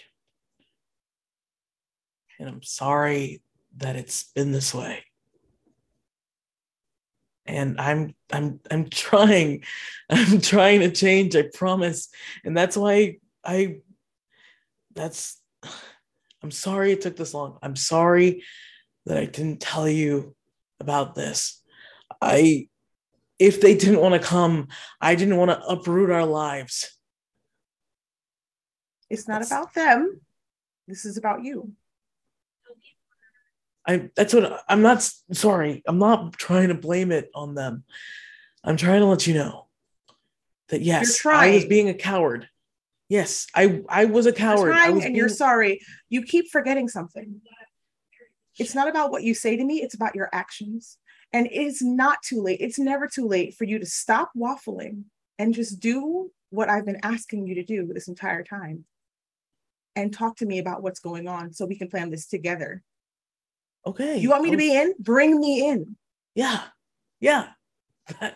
I can do that. All right, what are we doing? We're getting the crew back together. We're gonna hunt down Legume and we're gonna take him out. What are our leads? All right. So there is the um, colony that went dark. It only happened a month ago. A month is a long time when it comes to this. Yeah, but I I have it from sources that he's having a lot of trouble developing these things. So we don't know when he's going to strike again, but we know where he has struck. We have evidence of what has been done there. Maybe we can follow and the we gave him a way. month of lead time because you didn't tell the smartest person you know what was going on. So you're going to internalize that and never do this to me again. Yes, ma'am. That's what I thought.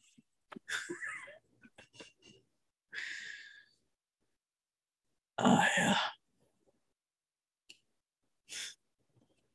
You know, I really love that you can hand me my ass without breaking my ribs. It would not be safe for you to live with Lopez. I mean, we're about to live with him on a ship. That was your choice. You walked into that with your eyes open and your ribs exposed. Good luck. Pats on the back. I, you know, he's like a brother to me. Yeah. Brothers, they're very close to you. So close. Like Knuckles.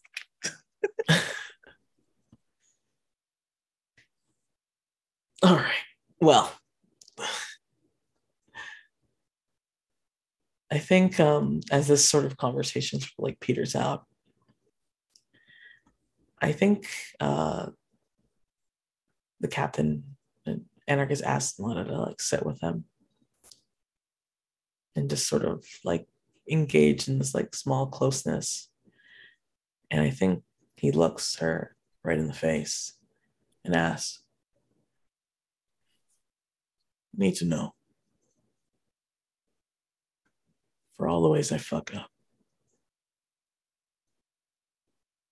What's the thing that will make you not come back?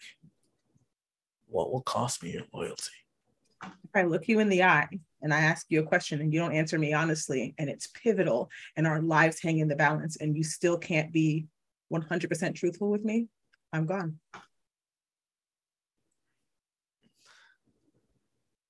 Thank you.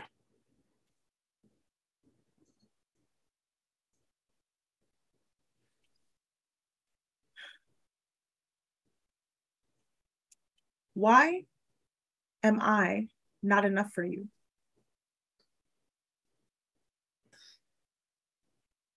I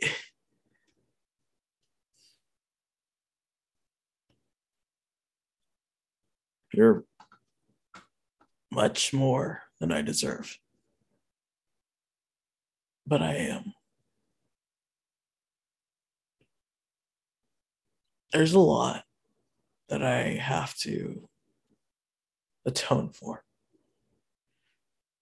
And I love you. But I it's hard to feel like I deserve to do that when I failed you and everyone I care about for my entire life.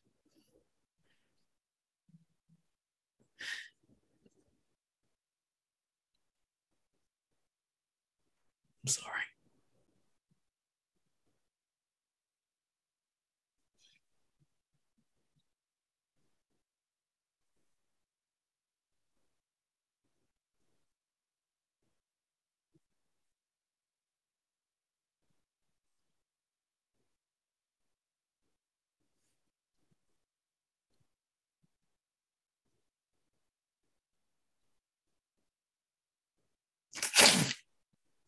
Sorry, I looked at the Zoom chat.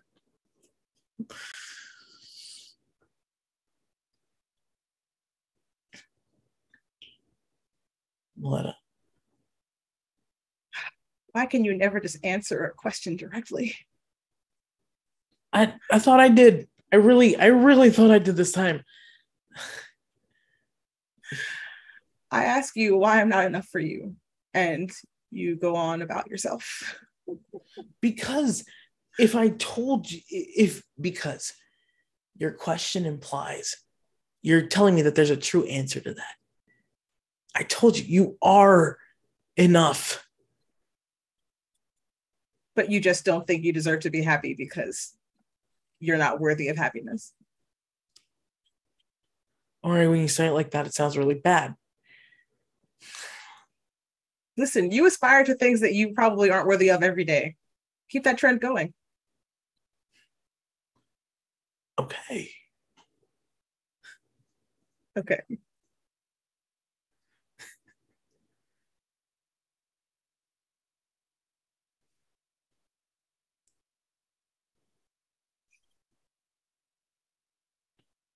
How long do you need to um,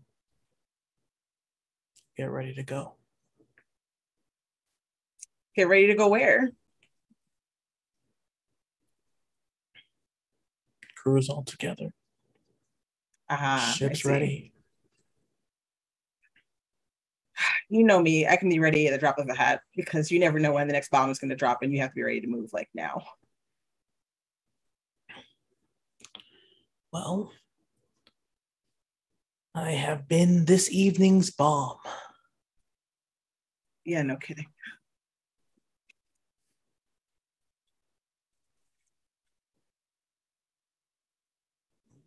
How about I turns make around and start rolling up the tapestries. I'll make dinner and Anarhk uh, retreats. Woof. Everybody good? O card, O check in. That's crazy. I'm just saying, Letta should have walked out. We all did. Mhm. Leave the his only ass. reason she didn't is like he's gonna get everybody in the whole galaxy killed. I gotta go make sure no one dies. Let's go. That's crazy. I want you to know every time you dropped a bomb, I was like, that's crazy. I cannot believe it. hmm Yeah. Woof. Drag his ass. Yeah. I didn't know Lopez was in there going, kick him again, girl. Get him for me. you destroy him like- emotionally, I'll destroy him physically. Emotional Lopez was just like was trying to instigate, just being like, I wouldn't let that level of disrespect if that was me. Like I love like he's talking to you crazy. I wouldn't let that level of disrespect stand. I don't know about you. Now, when we were doing character selection back in the day, planning this show, um, the, you know, the the character types came up, and Victor was like, "Oh, I'll be captain," and I was like, "Oh, thank God!" Like, Woo! I knew this would be tough. I, if Jay said that, any of that to me, I think I'd cry on camera. Oh, so that puts us at cards, right? Oh Yeah, yes, that yes, puts we're gonna us- cards. That puts us with cards, and then we're gonna take a break. Oh, you have to go cry in the corner now. Oh, yeah, we're just gonna like, sing I it. need It's a the minute we go to break, poor Victor's crying, I've the shaking, throwing up in the deliver those corner. words before. I didn't realize how devastating they were to hear. Damn. So the card I drew from Letta was black. Yay! Let's go. All right. He deserves it. Okay, so I keep the card. Okay.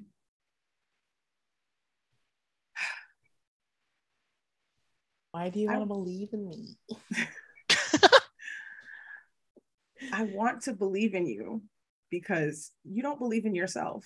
And I've seen you do amazing things. I don't understand this disconnect between the life you've clearly lived and the person you are, and then the person you act like the minute we're done. Like we we saved the galaxy. We did the very best we could, and it was enough. You were enough. And yet you act every single day like you're not. And I just don't understand. I'm supporting you. We're all supporting you. We, despite everything we've been through, your crew, we love you. Why can't you believe in yourself as much as we believe in you? All of that. And I don't currently have an answer that isn't just a list of uh, mental health issues. Um, and Anarhk's card is red. oh yes. We can't just end on a good note. Hmm? so what I think uh, makes the enemy stronger is not only do they have outside surveillance, they somehow snuck surveillance in here. And the enemy has now targeted Mleta as a weak link to draw her away from the crew. It's the roach with the helmet. It's the damn bugs! I knew it!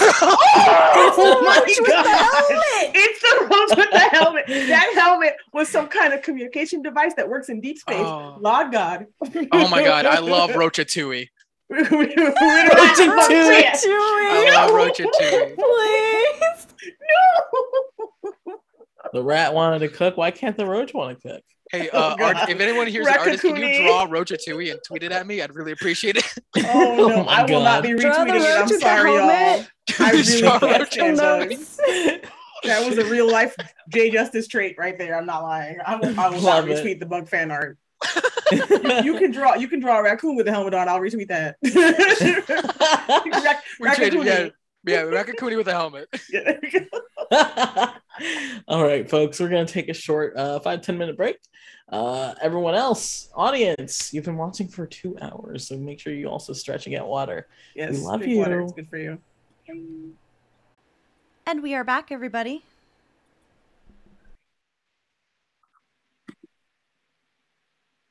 No. Am I, oh, am I supposed to enter this? Yeah. Oh, my brain has been that's so. I'm sorry. I thought. I thought We're looking at Cleric like, let's go. I thought go. Victor was gonna intro it, which is why I was like, "Oh, Sorry. no, then I'll type it." now it's off to the mini games, and now we're going to go in order. Uh, Cleric, you ch- to choose our first mini game. Yeah. Okay. so I think we okay. For, so for this mini game, uh, I I won't call I won't say what it is until we like we dive into it. So I think since we're all back on the ship, uh, the unnamed ship, uh, what? Oh, please stop doing this. Okay, my uh, so we're on this unnamed ship right at the moment. I don't know. Have we picked a name? Do you want to pick one right now? Let's do one right now. everyone come up with a with a vowel or a or a sound and we just come match them all together. Sorry. The mini game is now we're naming the ship. Okay. Give us our name of the ship. we just mashed a bunch of vowel. I got we got Joe, La. Jola, Jola, Jocasta. I don't know. Jola Kuki, Jola Kuki.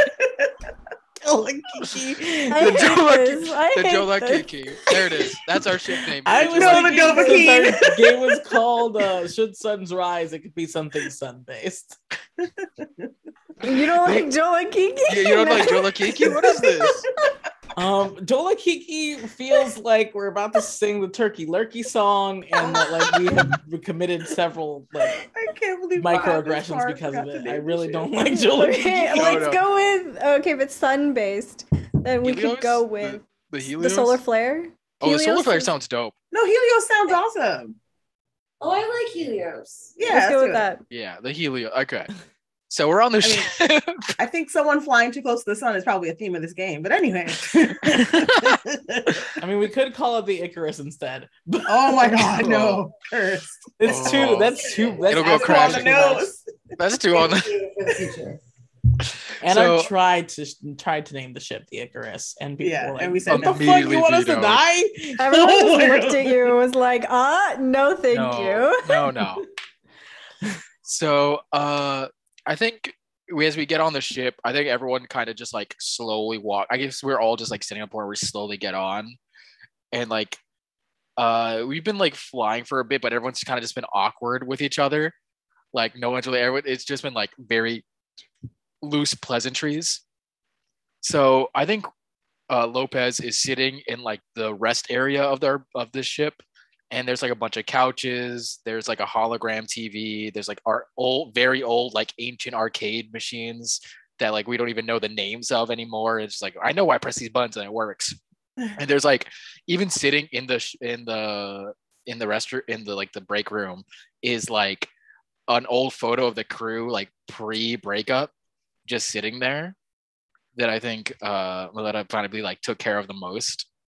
And I think uh Lopez is kind of just sitting there adjusting their armor uh as uh they're kind of just like staring at both the picture and then the TV as well, just like catching up on all like any news.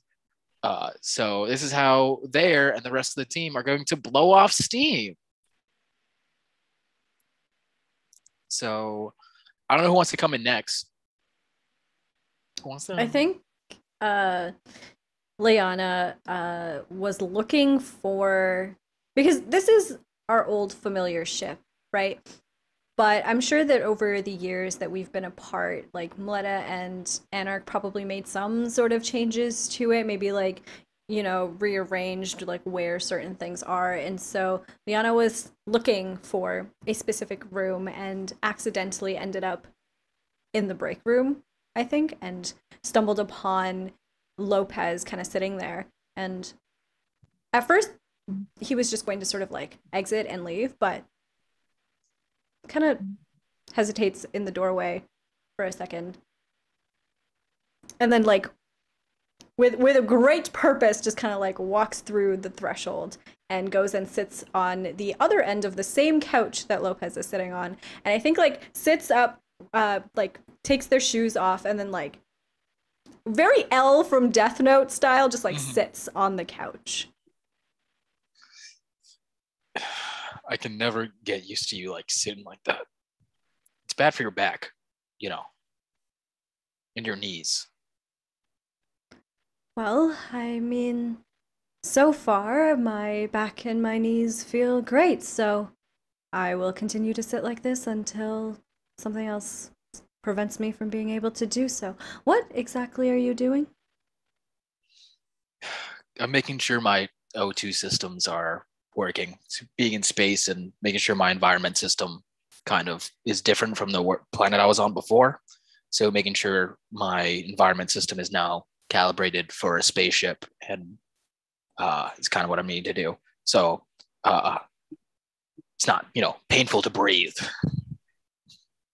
And I think maybe like during this conversation is when the next person walks into the room.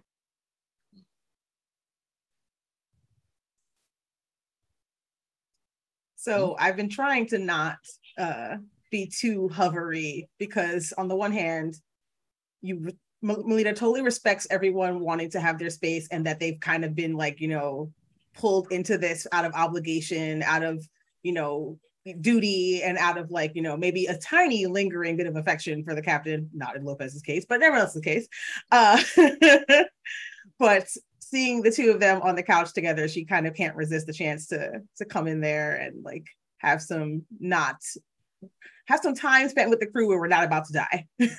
So she walks in she awkwardly sits down like Riker, trying not to aggravate a back injury and uh in one of the, the the the softer chairs across from the couch.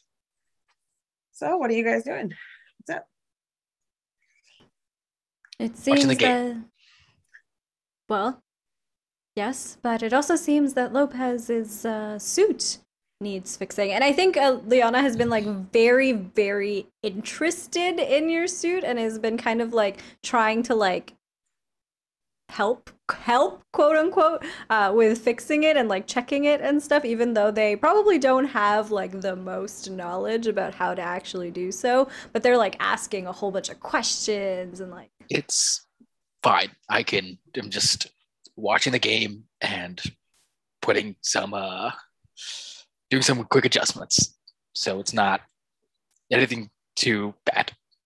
Oh yeah, I I figure it could be too bad because if you were doing anything serious, you'd go to a oxygen filled clean room and not this.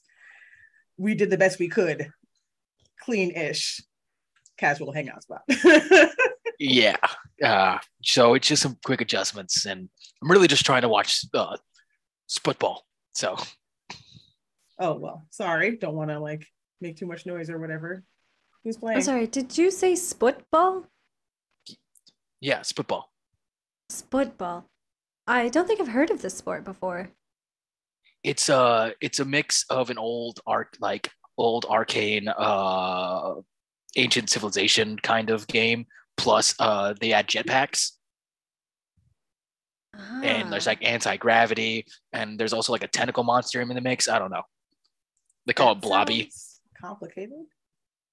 I think Lyana's eyes kind of like their green eyes kind of go wide and like with interest as you say that there's a tentacle monster in the mix as well. why did why do tentacle monsters always just get your interest i've, I've every time i just casually even bring them up I just think that the average person doesn't have enough of an appreciation for the magical, for the surreal. So it's wonderful to see uh athletes, I suppose, embracing their innate connection to them. I think they're trying to avoid people. getting embraced by them. Yeah, with the with the eating. That that one guy there, he's he just missed it. Oh, oh, yeah yeah Mm. all right he's not recovering they don't ever they, his family will be getting compensated oh dear. Ah. and i think that's when leo comes in Yeah, Leo sees us all like staring at this TV in like shock and disgust. That's gonna be a closed casket. actually, Uh, carrying uh, a tray of food that they themselves cannot eat, but will be offering the rest of the crew. And it may look like a very normal gesture, but it's actually kind of a big gesture for uh, Leo to try and like make immediate peace with everyone, because you know they don't really feel they don't feel like they ever really earned their place in this crew, and so that is why the first thing they did was beeline to the confections and try to arrange a plate that they assume um, humans and sentients would like. Uh, on this plate are cheeses, uh, vegetables, and small tentacles just kind of strewn about. Um, because, you know, Leo had heard it in conversation. And so naturally, Leo thought that was part of the interest. Uh, and so it's seafood and fruit and cheese, which is what humans eat, right? Are the tentacles cooked? Did they have to be? Oh god. oh oh I was like, is it calamari? Did you deep fry it? Oh no. You know, they, they they try so hard. Yeah, I like to imagine Leo just dropped it in the middle and it's just like all three of us are just kind of just looking at it, just. Thank Uh, you. It's the, It's like cheese that didn't touch the tentacle. Like their Thank you head moves like robotically from one to the other, just waiting and trying to trying to detect some kind of like feeling of of anything, any reading. Uh, thanks, uh, Leo. I can't really eat that uh, with the suit on, but I uh, appreciate the thought. I think uh, Lyana kind of reaches down and like grabs one of the uh, one of the cheeses, like just a big block of cheese, uh, and starts biting into it. Uh, not not like I'm sure like there's a knife for the for the cheese, and they just don't even. They just grab a block and start biting into it. So how do you eat then? I mean, you still need sustenance, I'm sure. I either eat in my room or I need to get like a juice pack and like stick it through the breathing hole that's in the middle, and I have to suck it through a straw. Would you like me to juice the contents of this tray? No, Leo, I I really I appreciate the thought, but I don't know how well uh, cracker cheese and tentacle will go together. So I'm going to politely say no, though I, I appreciate the, the thought. Yeah, Leo, this was super thoughtful. Um, maybe next time we could do it together, like an activity. We could like prepare it together. That would be super fun. So we could figure out what uh flavors go best and also where you're getting these ingredients from, because I don't remember requisitioning this at all. I only searched the kitchen for a small amount of time, Ah, but I am interested in learning your recipes. Happy to teach. Where did the tentacles come from? I don't think we want to think about that. I really don't want to think about that. Okay, you know what? That's fair. Never mind. It's not my it's not my business. Have the two of you never heard of seafood?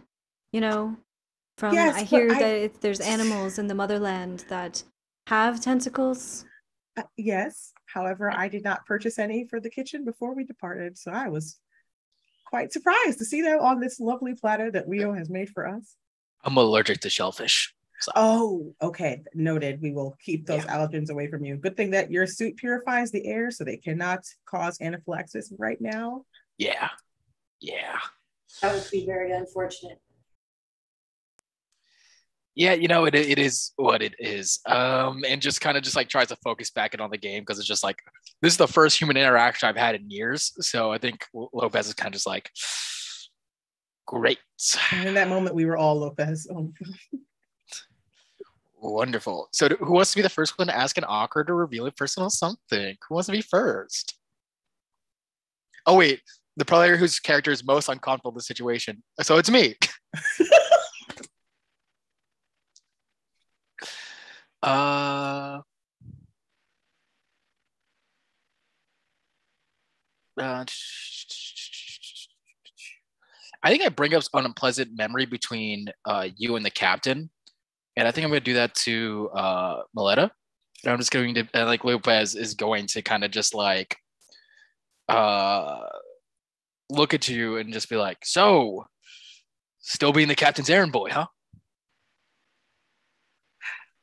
No, actually, the captain can at least be relied upon to run his own errands. However, everything else that's not just trivial or menial, yes, I have to make sure that actually happens. You're not wrong.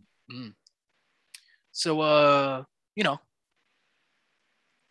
I've been wondering, just if you will indulge, if you'll indulge me. Every one of us, I can understand, you know, left the captain Anarhk because Anarhk is Awful. what is a polite? Hmm? Yeah, awful, shitty, uh, garbage. Um, Leo, do you have a descriptor that you want to add into this? Uh, disappointment. Uh, beautiful. So, disappointment. We all left. So I've been, it's getting kind of bugging me ever since the captain came and dragged me on this ship. Uh, why did you stay? I stayed because despite the fact that we know the captain best, outside of our little circle, the rest of the universe, the rest of the galaxy thinks that the captain is this amazing, perfect person because we made him look good. We made him indispensable to everyone. And so he's the best way to get information on what could possibly be threatening what is at this moment a peaceful galaxy. So if I didn't stay with him, we wouldn't be on this mission right now, making sure that little kids we see at the market and the old people who are just trying to retire have a place to live that's not overrun by murderous synthetic beings. No offense, Leo, I love you, you are a baby. But like, if we didn't stay here as a group, if we did not give our all, who was going to take care of everyone? Who was going to be there for the galaxy? That's that's honestly why I stayed. And I understand if you don't respect me for my choice, but I think we all know that if I didn't, the captain would be in a gutter somewhere and the information that he has access to would be lost and we would not actually be able to stop what I think deep down we all know is coming.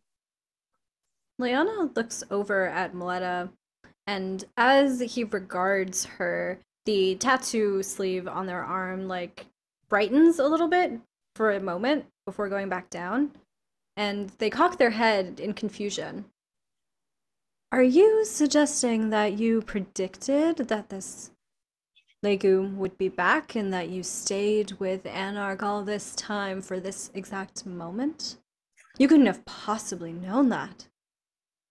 I wouldn't say predicted because visions of the future are not always perfect or guaranteed. And no one in my family has had the true sight for generations. So it's not, I don't think that all of my dreams necessarily are going to happen. And I don't think that every single reading I've ever been able to take on every synthetic creature that I've been able to put into our formulas is adding up to some big revolution. But at the same time, our enemy is so powerful and it wasn't easy, but there were times when I didn't think we were going to be able to win, and yet we did. So I just want to make sure that there was something. You know me, I'm I'm uber planner. I always have to have a backup for the backup for the backup. And I knew that if we just let the connections fade, there wouldn't be a backup plan and there wouldn't be a way out of it in the future, just in case I was wrong. So then why didn't you stay in touch with any of us? From my understanding, you. This is the first time you've spoken to any of us. If the connections needed to be kept strong, then where have you been? At the same years? time that I believe that, I also respect everyone's autonomy and their agency and their choices. And you all made it very clear that you wanted nothing to do with him. And I knew I couldn't let go of him, but it is your right to be able to do so because the trauma that each one of you went through could have broken anyone and you deserve better. I wasn't going to force you to stay out of my own duty. That's for me. You guys deserve to be happy in whatever way you can find it. And I did not think she was going to be able to get you to come back. I'm so happy that you did. I, I love y'all. I, I really want to be with y'all, but I just, I couldn't make you do that based on a ghost of a vision that may or may not come to pass. So I just, I'm sorry. I wanted to reach out, but I knew that depending on how you felt, depending on how close you were to the you that I last saw, all of you. Any word from me might have felt like it was coming from him and you weren't ready to speak to him. And I respect that. Lyana reaches out a hand uh, for Mleta and just with a sad look in his eyes says, And don't you deserve happiness? Don't you deserve better too? Thank you. That's so sweet of you to say. Um, I, I I think so, but it haunts me. I I can't I can't let go of the thought that if I shirk my duty, there's no happiness for anyone. So how can my personal happiness be more important than than being responsible, than making sure that there's at least one path to victory for us. Maybe we can celebrate again later when we save the galaxy one more time. Even I can only sacrifice so much for the captain. Mm. After we uh, save the galaxy this time, you should consider that as well. That's fair. I think uh, Lopez kind of just like regards you and doesn't say anything negative, but doesn't say anything like positive. Kind of just like, mm. Uh, and whoever else wants to ask a question, I want to who wants to go next.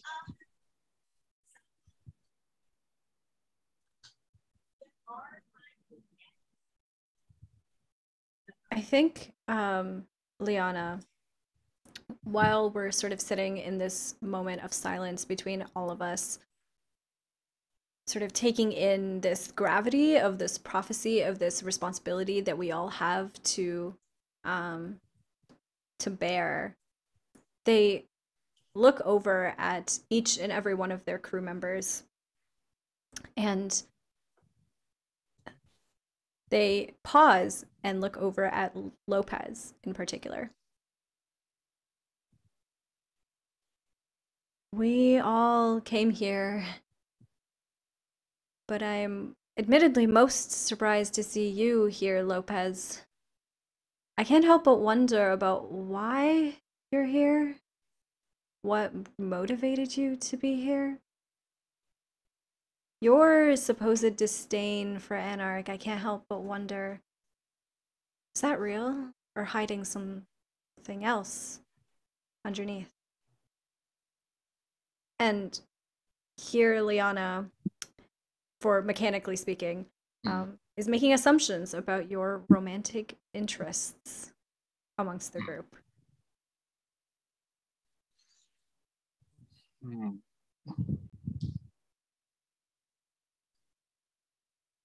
I think Lopez kind of like looks Lyana just kind of looks around. Uh and is like kind of is like twirling something in their hand and kind of just like as soon as you ask that question snaps it and is kind of just very much like I came back for one reason and one reason alone. It's because I hate Anarhk. I hate him with every single fiber of my being. Every day that I breathe is a moment that I'm reminded of how much I hate Anarhk. And the only reason I set foot in this ship, if I can be very honest, is because I know he's going to fuck up. And I want to be there to watch him do it. I want to see the look on his eyes when every little set of confidence crumbles. That little confidence we all know he has. We all look into his eyes, all see it. He has that confidence that he holds all the cards. And I'm so begging for the moment it comes slipping out of his wet, dangly little hands. Well, you know what they say, Lopez. There's a fine line between light and dark, and a finer line between love and hate. Listen, not all of us can have that symbiosis brujeria shit that you have going on. All right? So maybe I just have hate. Maybe. Maybe not. The magnitude of your feelings seems to be changing your body temperature. Is that normal? When I have a lot of hate building up, I get flustered, Leo. Thank you for reading my body, my temperature without my permission. I, I do appreciate it. Your robotic invasion of privacy. Do you need medicine? I'm fine. The suit gives medicine. I am fine. Okay.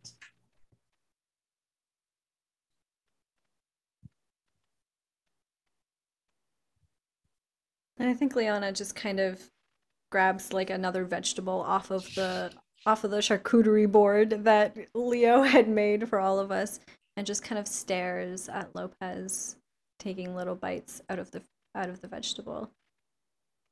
Not convinced.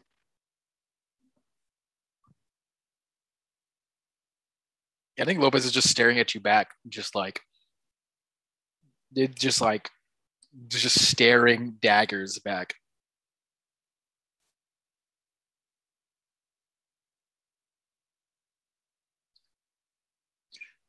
All right, who wants to break the tension?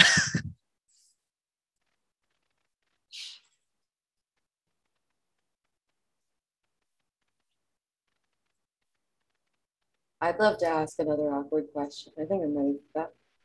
Go for it. What do you want to ask? All right. So building on this last question, uh, especially because Leo really is enraptured whenever something super dramatic goes down uh, with the crew, because it it isn't just an interesting thing to them as an entertaining, but it's interesting in the way that like this is unfortunately how Leo has learned about feelings is from being with this crew, and that is why you have a very damaged android right now. Um, look at it; it needs therapy. Um, uh, and so, I think Leo's curiosity is building, and so with that, uh, they will also they're going to continue putting uh, the focus on Lopez uh, and and uh, and say, well, if this is how you feel about the captain, then how do you feel about coming back together uh, with with us. Uh, and I'm trying to go. Honestly, I, I'd love to do this as like a group thing. Like if it's not the captain, if you're if your hate for the captain is what brought you back, what made you want to bring to come back and be around us of all people? Because um, I want to ask a, uh, a, you about someone else here. Obviously, trying to gauge your true feelings about me. Mm-hmm.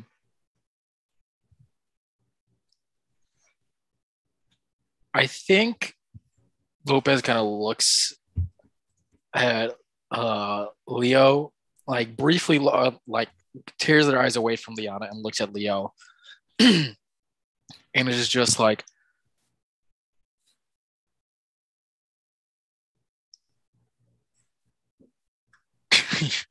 is kind of just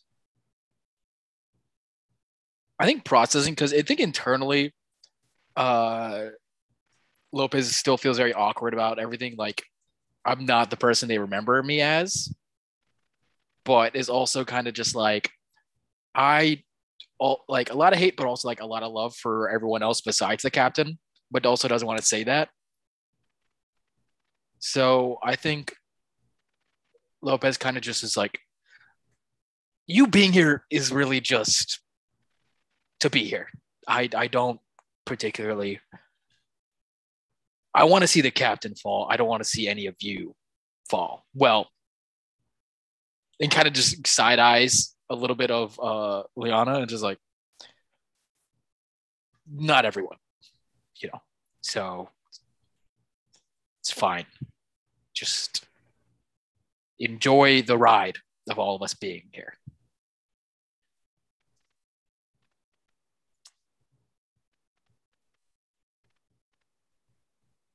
If I may break the order just a little bit, because I think it's a perfect moment. Uh, when oh, uh, when Lopez side eyes Lyana, saying like, you know, wants to see not everybody fall. Uh, I think Lyana kind of laughs, catching the eye contact, and they like in their weird like crouch position like start to like move a little bit closer and they purposefully i think like fall a little bit onto lopez.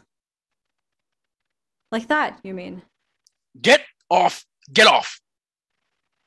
And like literally physically jumps up.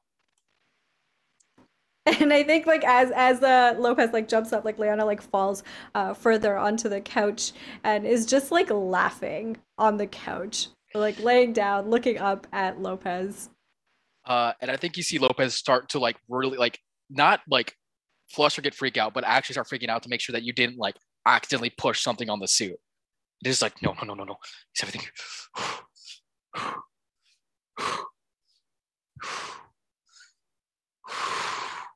Are you okay? Don't, don't. just sit down. Just don't. It used It- to be a lot more fun than this, Lopez. Yeah, and I used to not be in a fucking bio life suit too.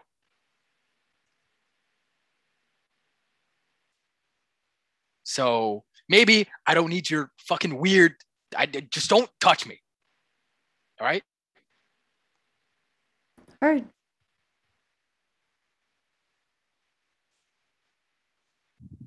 And I think Lyana just kind of like sits up and like moves back to the other end of the couch where they had originally been sitting and like sits back down again, offering the seat open for Lopez if they so choose to oh, come Oh no, back. no. Lopez is now just like sitting against the wall, just like arms crossed, just like, like kind of. You see like the leg bounce, just like, like I was here first, so I'm not leaving, but also just like,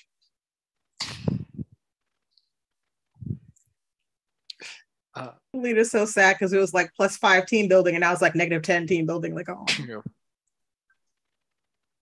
damn it. I think Well- Letta, that leaves you. yeah. Oh, yeah. I was so busy worrying about everybody else as usual. Oh, no. oh, gosh. Okay. Hmm. Awkward questions. Well,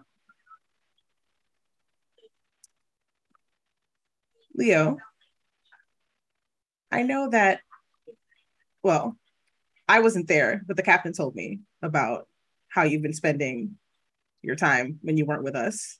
And I know I didn't reach out because everybody deserved their space after everything went down, but and I worried about everyone, but I worried about you the most because I felt like you didn't really have a chance to figure out who you were on your own until after going through so much trauma with us. And I just I I, I worried about you a lot and I felt bad that uh that I didn't stay in touch because you were out there living your life and finding your way. And I just wanted to ask you like how that was for you. Like what what did you do? Like if you want if, if you're okay talking about it with us, I think we'd all like to know a little bit more about what your life was like outside of being in our family.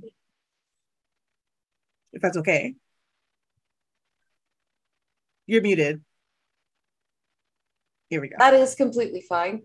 Uh, and for a moment, like Leo, Leo usually like is able to just like spitball answers and stuff. Their heart computer, it's pretty easy. But for a moment, there's just a bit of silence as they sort of gather like their thoughts and memories of everything that happened and the steps taken from there. Uh, and Leo, Leo continues and says that after we separated, I decided that I needed to find use uh, to not only occupy my time, but put this body uh, to positive um, use. Uh, and I didn't want to waste any time. And so I found the closest surface I could and got in contact with some of our old contacts uh, from our last few missions. And I was able to find occupation at a uh, government lab working on uh, biology and uh, the development of uh, certain artificial biomes uh, for the furtherment of nearly extinct species. It was the best decision for me. It is where I'm the most useful uh, according to my employers. And it felt like the right choice because plants are, as I have discovered, easier to talk to than most sentients. What do the plants have to say? Nothing. It's so nice. Well, you said it's where your employers say that you fit best. Where do you think you fit best? I think I fit best where my use calls to, or what, where the situation calls to my skills the best. And that is most of the reason why I am here. The other reason is because the lab I was working with, working in blew up. And so I need to find a new one eventually. Oh, goodness. I hope everyone is all right. I'm not sure that everyone is all right, but the captain was involved, and so that Oh, is usually how things. are. Of Uh, yeah, that sounds familiar. Everyone exchanges looks of well. Lyana looks over at Lopez. What? I didn't say anything. Listen, Leo. That's I, I, just to like get off away from Lyana. Look at us. It's like cool. Like that's. Do you did you actually make that decision to leave, or did you the captain also you know uh Yeah. find your place the right place according to your you That's- find just a chip what I an was getting at. Yeah. Oh, uh, Leo will assert that it's the, it was their decision, but at the end, it kind of I don't know. They'll assert at first it was my decision, and then for a moment they'll pause and then say, and no one was left, so I had no more use here. So you're just filling a void of use, and the captain's to now find a, a, a use for you. It's what I was created for. Well, okay. Sometimes uh, organic beings tend to have two different modes of motivation. It's where we find ourselves to be useful and what makes us happy, and they're not always the same thing. So I think what we're trying to find out for you, Leo, is in your sense of like motivation, are your source of happiness and source of usefulness the same or are they different? And because your mind is so unique, like we we don't know. So it, this is kind of like our way of helping you figure out yourself a little bit more, if that's okay. No, I just kind of want to know if the captain reprogrammed Leo, and is kind of just being you know I don't think the captain is smart enough to do that. So don't I I can don't think the confirm that captain the has ever captain is reprogrammed enough. anything. He I could could- program a VCR from like the ancient times. you know. No. The captain uh, uh, last the last time the captain worked on the ship, our uh, toilets only flushed upward and not downward. So Yeah. let's not let's not uh, give him too much credit when it comes to the complexity of my being. I'm really glad that I didn't have to clean that up. Yeah, I did. As far as my happiness goes, I have only felt happiness at different and scarce times in my eh, short life, let's call it that. And one of those moments was long before everything ended when I was with you all. And so that was part of the reason why I returned. Well, I have to get some drinks so we can toast to all of us finding our happy moments. What what drinks am I getting, you guys? Pass. Okay, fair. Lyana? Uh, I will have your uh, most new drink. I don't Oh, want anything that you've had on this ship for months. Oh yeah, you know what? That's fair. Anything that's from a the last time we were on here is getting tossed, so you got it. Um, and I don't Wait, know. you still have drinks from years ago? I thought I got rid of everything, but now I'm paranoid that you said this, so I'm gonna go check.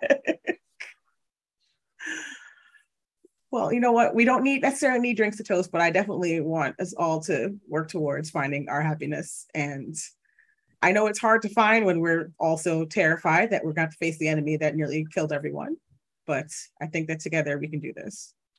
Yeah, way to really bring up the mood there. I tried. That's my curse. I'm a little too realistic sometimes. Some people here could uh, learn by example. And some people could learn how to keep their mouth shut. Oh, I don't think anybody on the ship is good at that.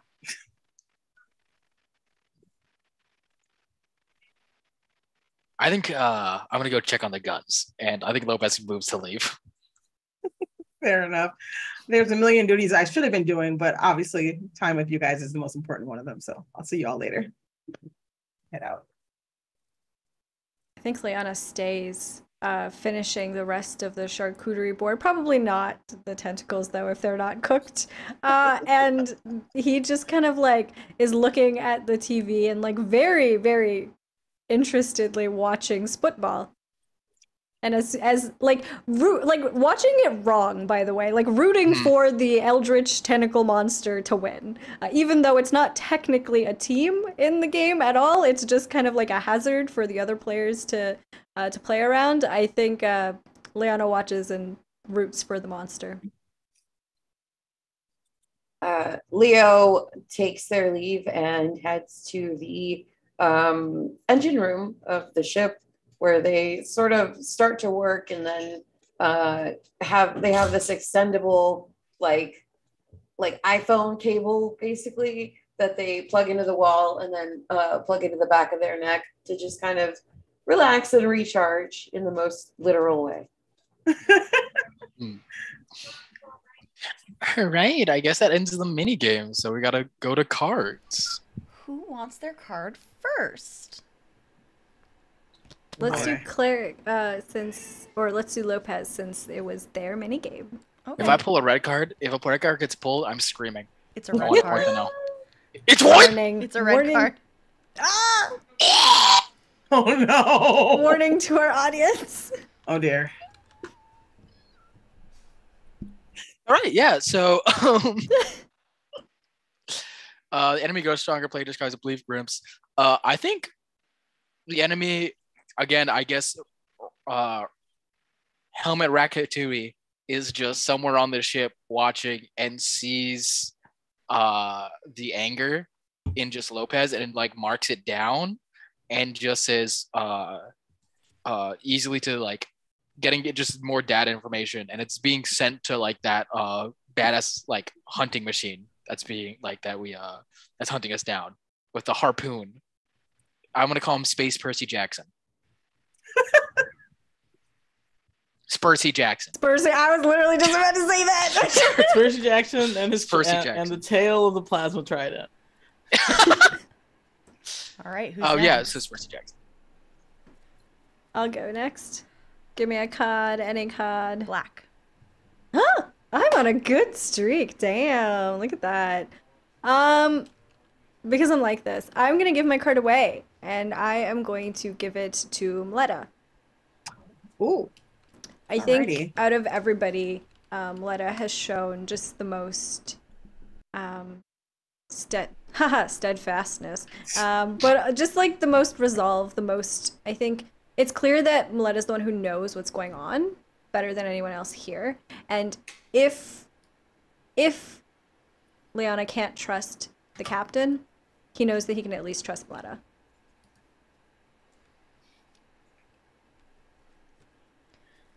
All right. Two more. Who's next?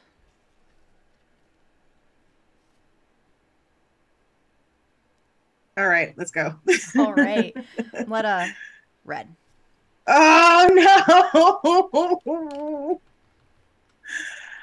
Ironically, the brief glimpse of the enemy that Mleta gets is that nightmare she keeps having about how their technology becomes more and more insidious, and uh, we need to figure out some kind of way to counteract them before it's too late. And everything we'd been researching previously, based on the te- technology we encountered before, may not be as up to date as we would like because the enemy is moving in a way that we don't fully understand.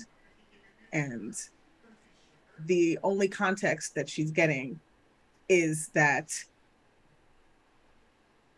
the time, every time you look at your watch, it's wrong. And the watch turns red, and that's all she gets. And she's like, What does it mean? What does it mean? She doesn't know. And last but not least for Leo, also red. The fuck you Hamnah Yeah. God. God damn it. Y'all should I'ma y'all should pray to the Eldritch monsters more. Clearly, it works. We're gonna have to. This is what Leo gets for serving the Eldritch monsters instead of praying to them, really. Mhm. Um, uh, so the glimpse that Leo gets is actually a message uh, that is transmitted into their brain from the doctor himself. And it's the doctor's trying to break through Leo's defenses. And so all they can hear right now is their name in the doctor's voice. That's Poggers. Locate Leo. What an ominous end to our game tonight. Yeah, wow. Pogger. Is our time up? Or is Yeah. Our time is up. It is 9.05. no. We're actually five minutes over time. it? So And just in Oh, time for a raid. Raiders. I'm so sorry. Oh, We're so sorry. we gotta go for another hour now. You know. My wife will murder me. All right. Um, well, Raiders, you are in time for us to say our goodbyes. Um, so uh next week we will not have game. Um, but after that, it will be five-ish straight weeks of game. Um, so honestly, if you enjoyed this, please, please let us know. Tweet about it, send us tips. You know, uh, everybody here is um so talented and I'm so happy to play a game with them. Um, and so on that note, uh, we will uh, let everyone do our plugs and help us say our goodbyes. Um, Hamnah, go ahead. All right. Uh, hello, everybody. My name is Hamnah. I use any and all pronouns, and I am a TTRPG performer. Uh, you can find me on Twitter at hshahid underscore, where I talk about all of the different projects that I'm a part of. I'm on a variety of campaigns, so uh, definitely go follow me there to see what I'm up to at any given point in time. Uh, the one that's coming up most uh, close to today, though, is on Saturday. Uh, Transplanar RPG goes live at 8 p.m. Eastern Time, and for those of you that don't know what Transplanar is, Transplanar RPG is a D&D 5e homebrew actual play uh, live stream podcast that is set in an anti-colonial, non-orientalist world. Uh, so if you have not seen it, it is an all-transgender cast. It's wonderful. It's lovely. You should come check us out. And I will pass it over to Jay. Hello. Hi, I'm Jay Justice. I'm on all the things as that Jay Justice. I'm also a streamer on Twitch. I play fun video games. I do cosplay, cooking streams, all that jazz. I got like 120 costumes and I post a lot of stuff on Twitter and Facebook. So feel free to follow me there. Um, this is the only RPG I'm doing right now. Yay, I managed to get my schedule somewhat reasonable. And yeah, definitely support Friends Who Roll Dice. This channel is awesome. So if you're just raiding into it, you should absolutely follow them. And next is Lopez, Is it me? Is It's it you. me? think. It could be you. I'm not sure. It could be me. It could be me. All right. Uh, hi everybody. It's your local fuck up cleric here. Uh, if you're looking for me, if you're looking for me and more of my content, and more what I do, you can follow me on Twitter at cleric underscore 34. I also have TikTok where I post shitty uh, comedy videos. You can do there. But if you want to hear me more in the TTRPG space, uh, here. But I have a podcast with a scary dog friend on Twitter. Uh, which is called MFA, aka Monster Fuckers Anonymous, a show where we talk about monsters, uh, talk about their lore, their mythology, everything about them, and we rank them on a scale of one to 10 whether or not you should be having intercourse with those monsters. Uh, some are good, some are bad. Most of them are mid, but all of them are sexy. Uh, we're currently on a break, so we just have a backlog. Uh, so we're kind of getting a backlog. So if you want to get caught up with the show, please check it out. Yeah, that's for me.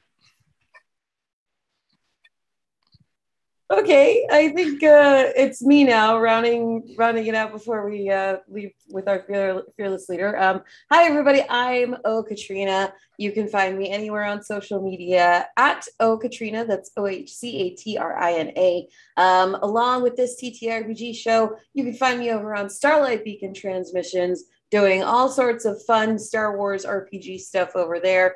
And you can also listen to my podcasts that is plural. I am that guy. Uh, that's uh, Fight Club Far, Far Away, where I break down all the best Star Wars battles. Uh, Pedro Pascal, which I co host with my friend Rachel Leishman, where we talk about all things Pedro Pascal. Uh, and Eat the, or no, wait, uh, and uh, oh, oh, oh, what is it? My Glup show. Um, gosh, what's Glup? The all new show about minor Star Wars characters and how much we love them uh, coming this September. Um, that's more than enough from me. Uh, thank you so much for watching. I'm going to go hide somewhere now.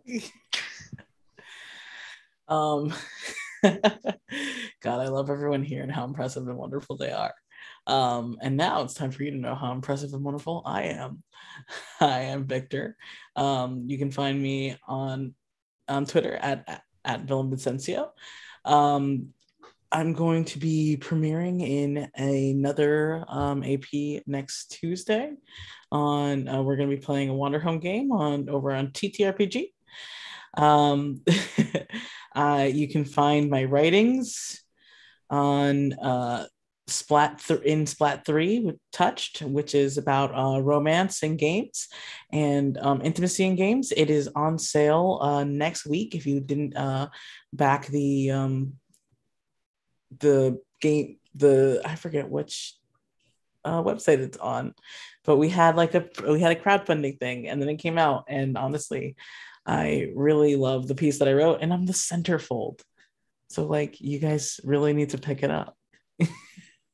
I mean, technically, I'm not the centerfold in the PDF, but I'm cool. um, and I'm gonna I'm working on several writing projects. I'm working on several games, so follow me on Twitter to uh, follow those projects. That's it for me. And last but not least, hi, I'm Mer. I am the producer, part of the leadership team, and the card keeper for this game. Um, just a couple quick, uh, you know, channel stuff. Uh, the Mind and the Martyr, our D&D 5e long-term campaign, will be coming back sometime in early to mid-August. Please keep an eye on our Twitter. And on Sunday at 1 p.m. Eastern Standard Time, we will have the premiere of Demon's Creek, our all POC Wild West Urban Shadows game run by at Reliable Elliot. I am so excited and it's to be really fucking dope. So, um, hell yeah. Um, as a reminder, if you love what we all do, um, this game has a chip jar. We all worked really hard on this campaign and it's even to, it's just to get better from here on out. And also, just an extra thank you to at Art of Levity who did the character art for this campaign. They did absolutely amazing. Thank you so much. They have commissions open right now, so go check out their Twitter. I just put it out on um, in chat. And stick around. We are going to go do a raid, but I hope everyone has an amazing evening and we will see you in two weeks. Bye.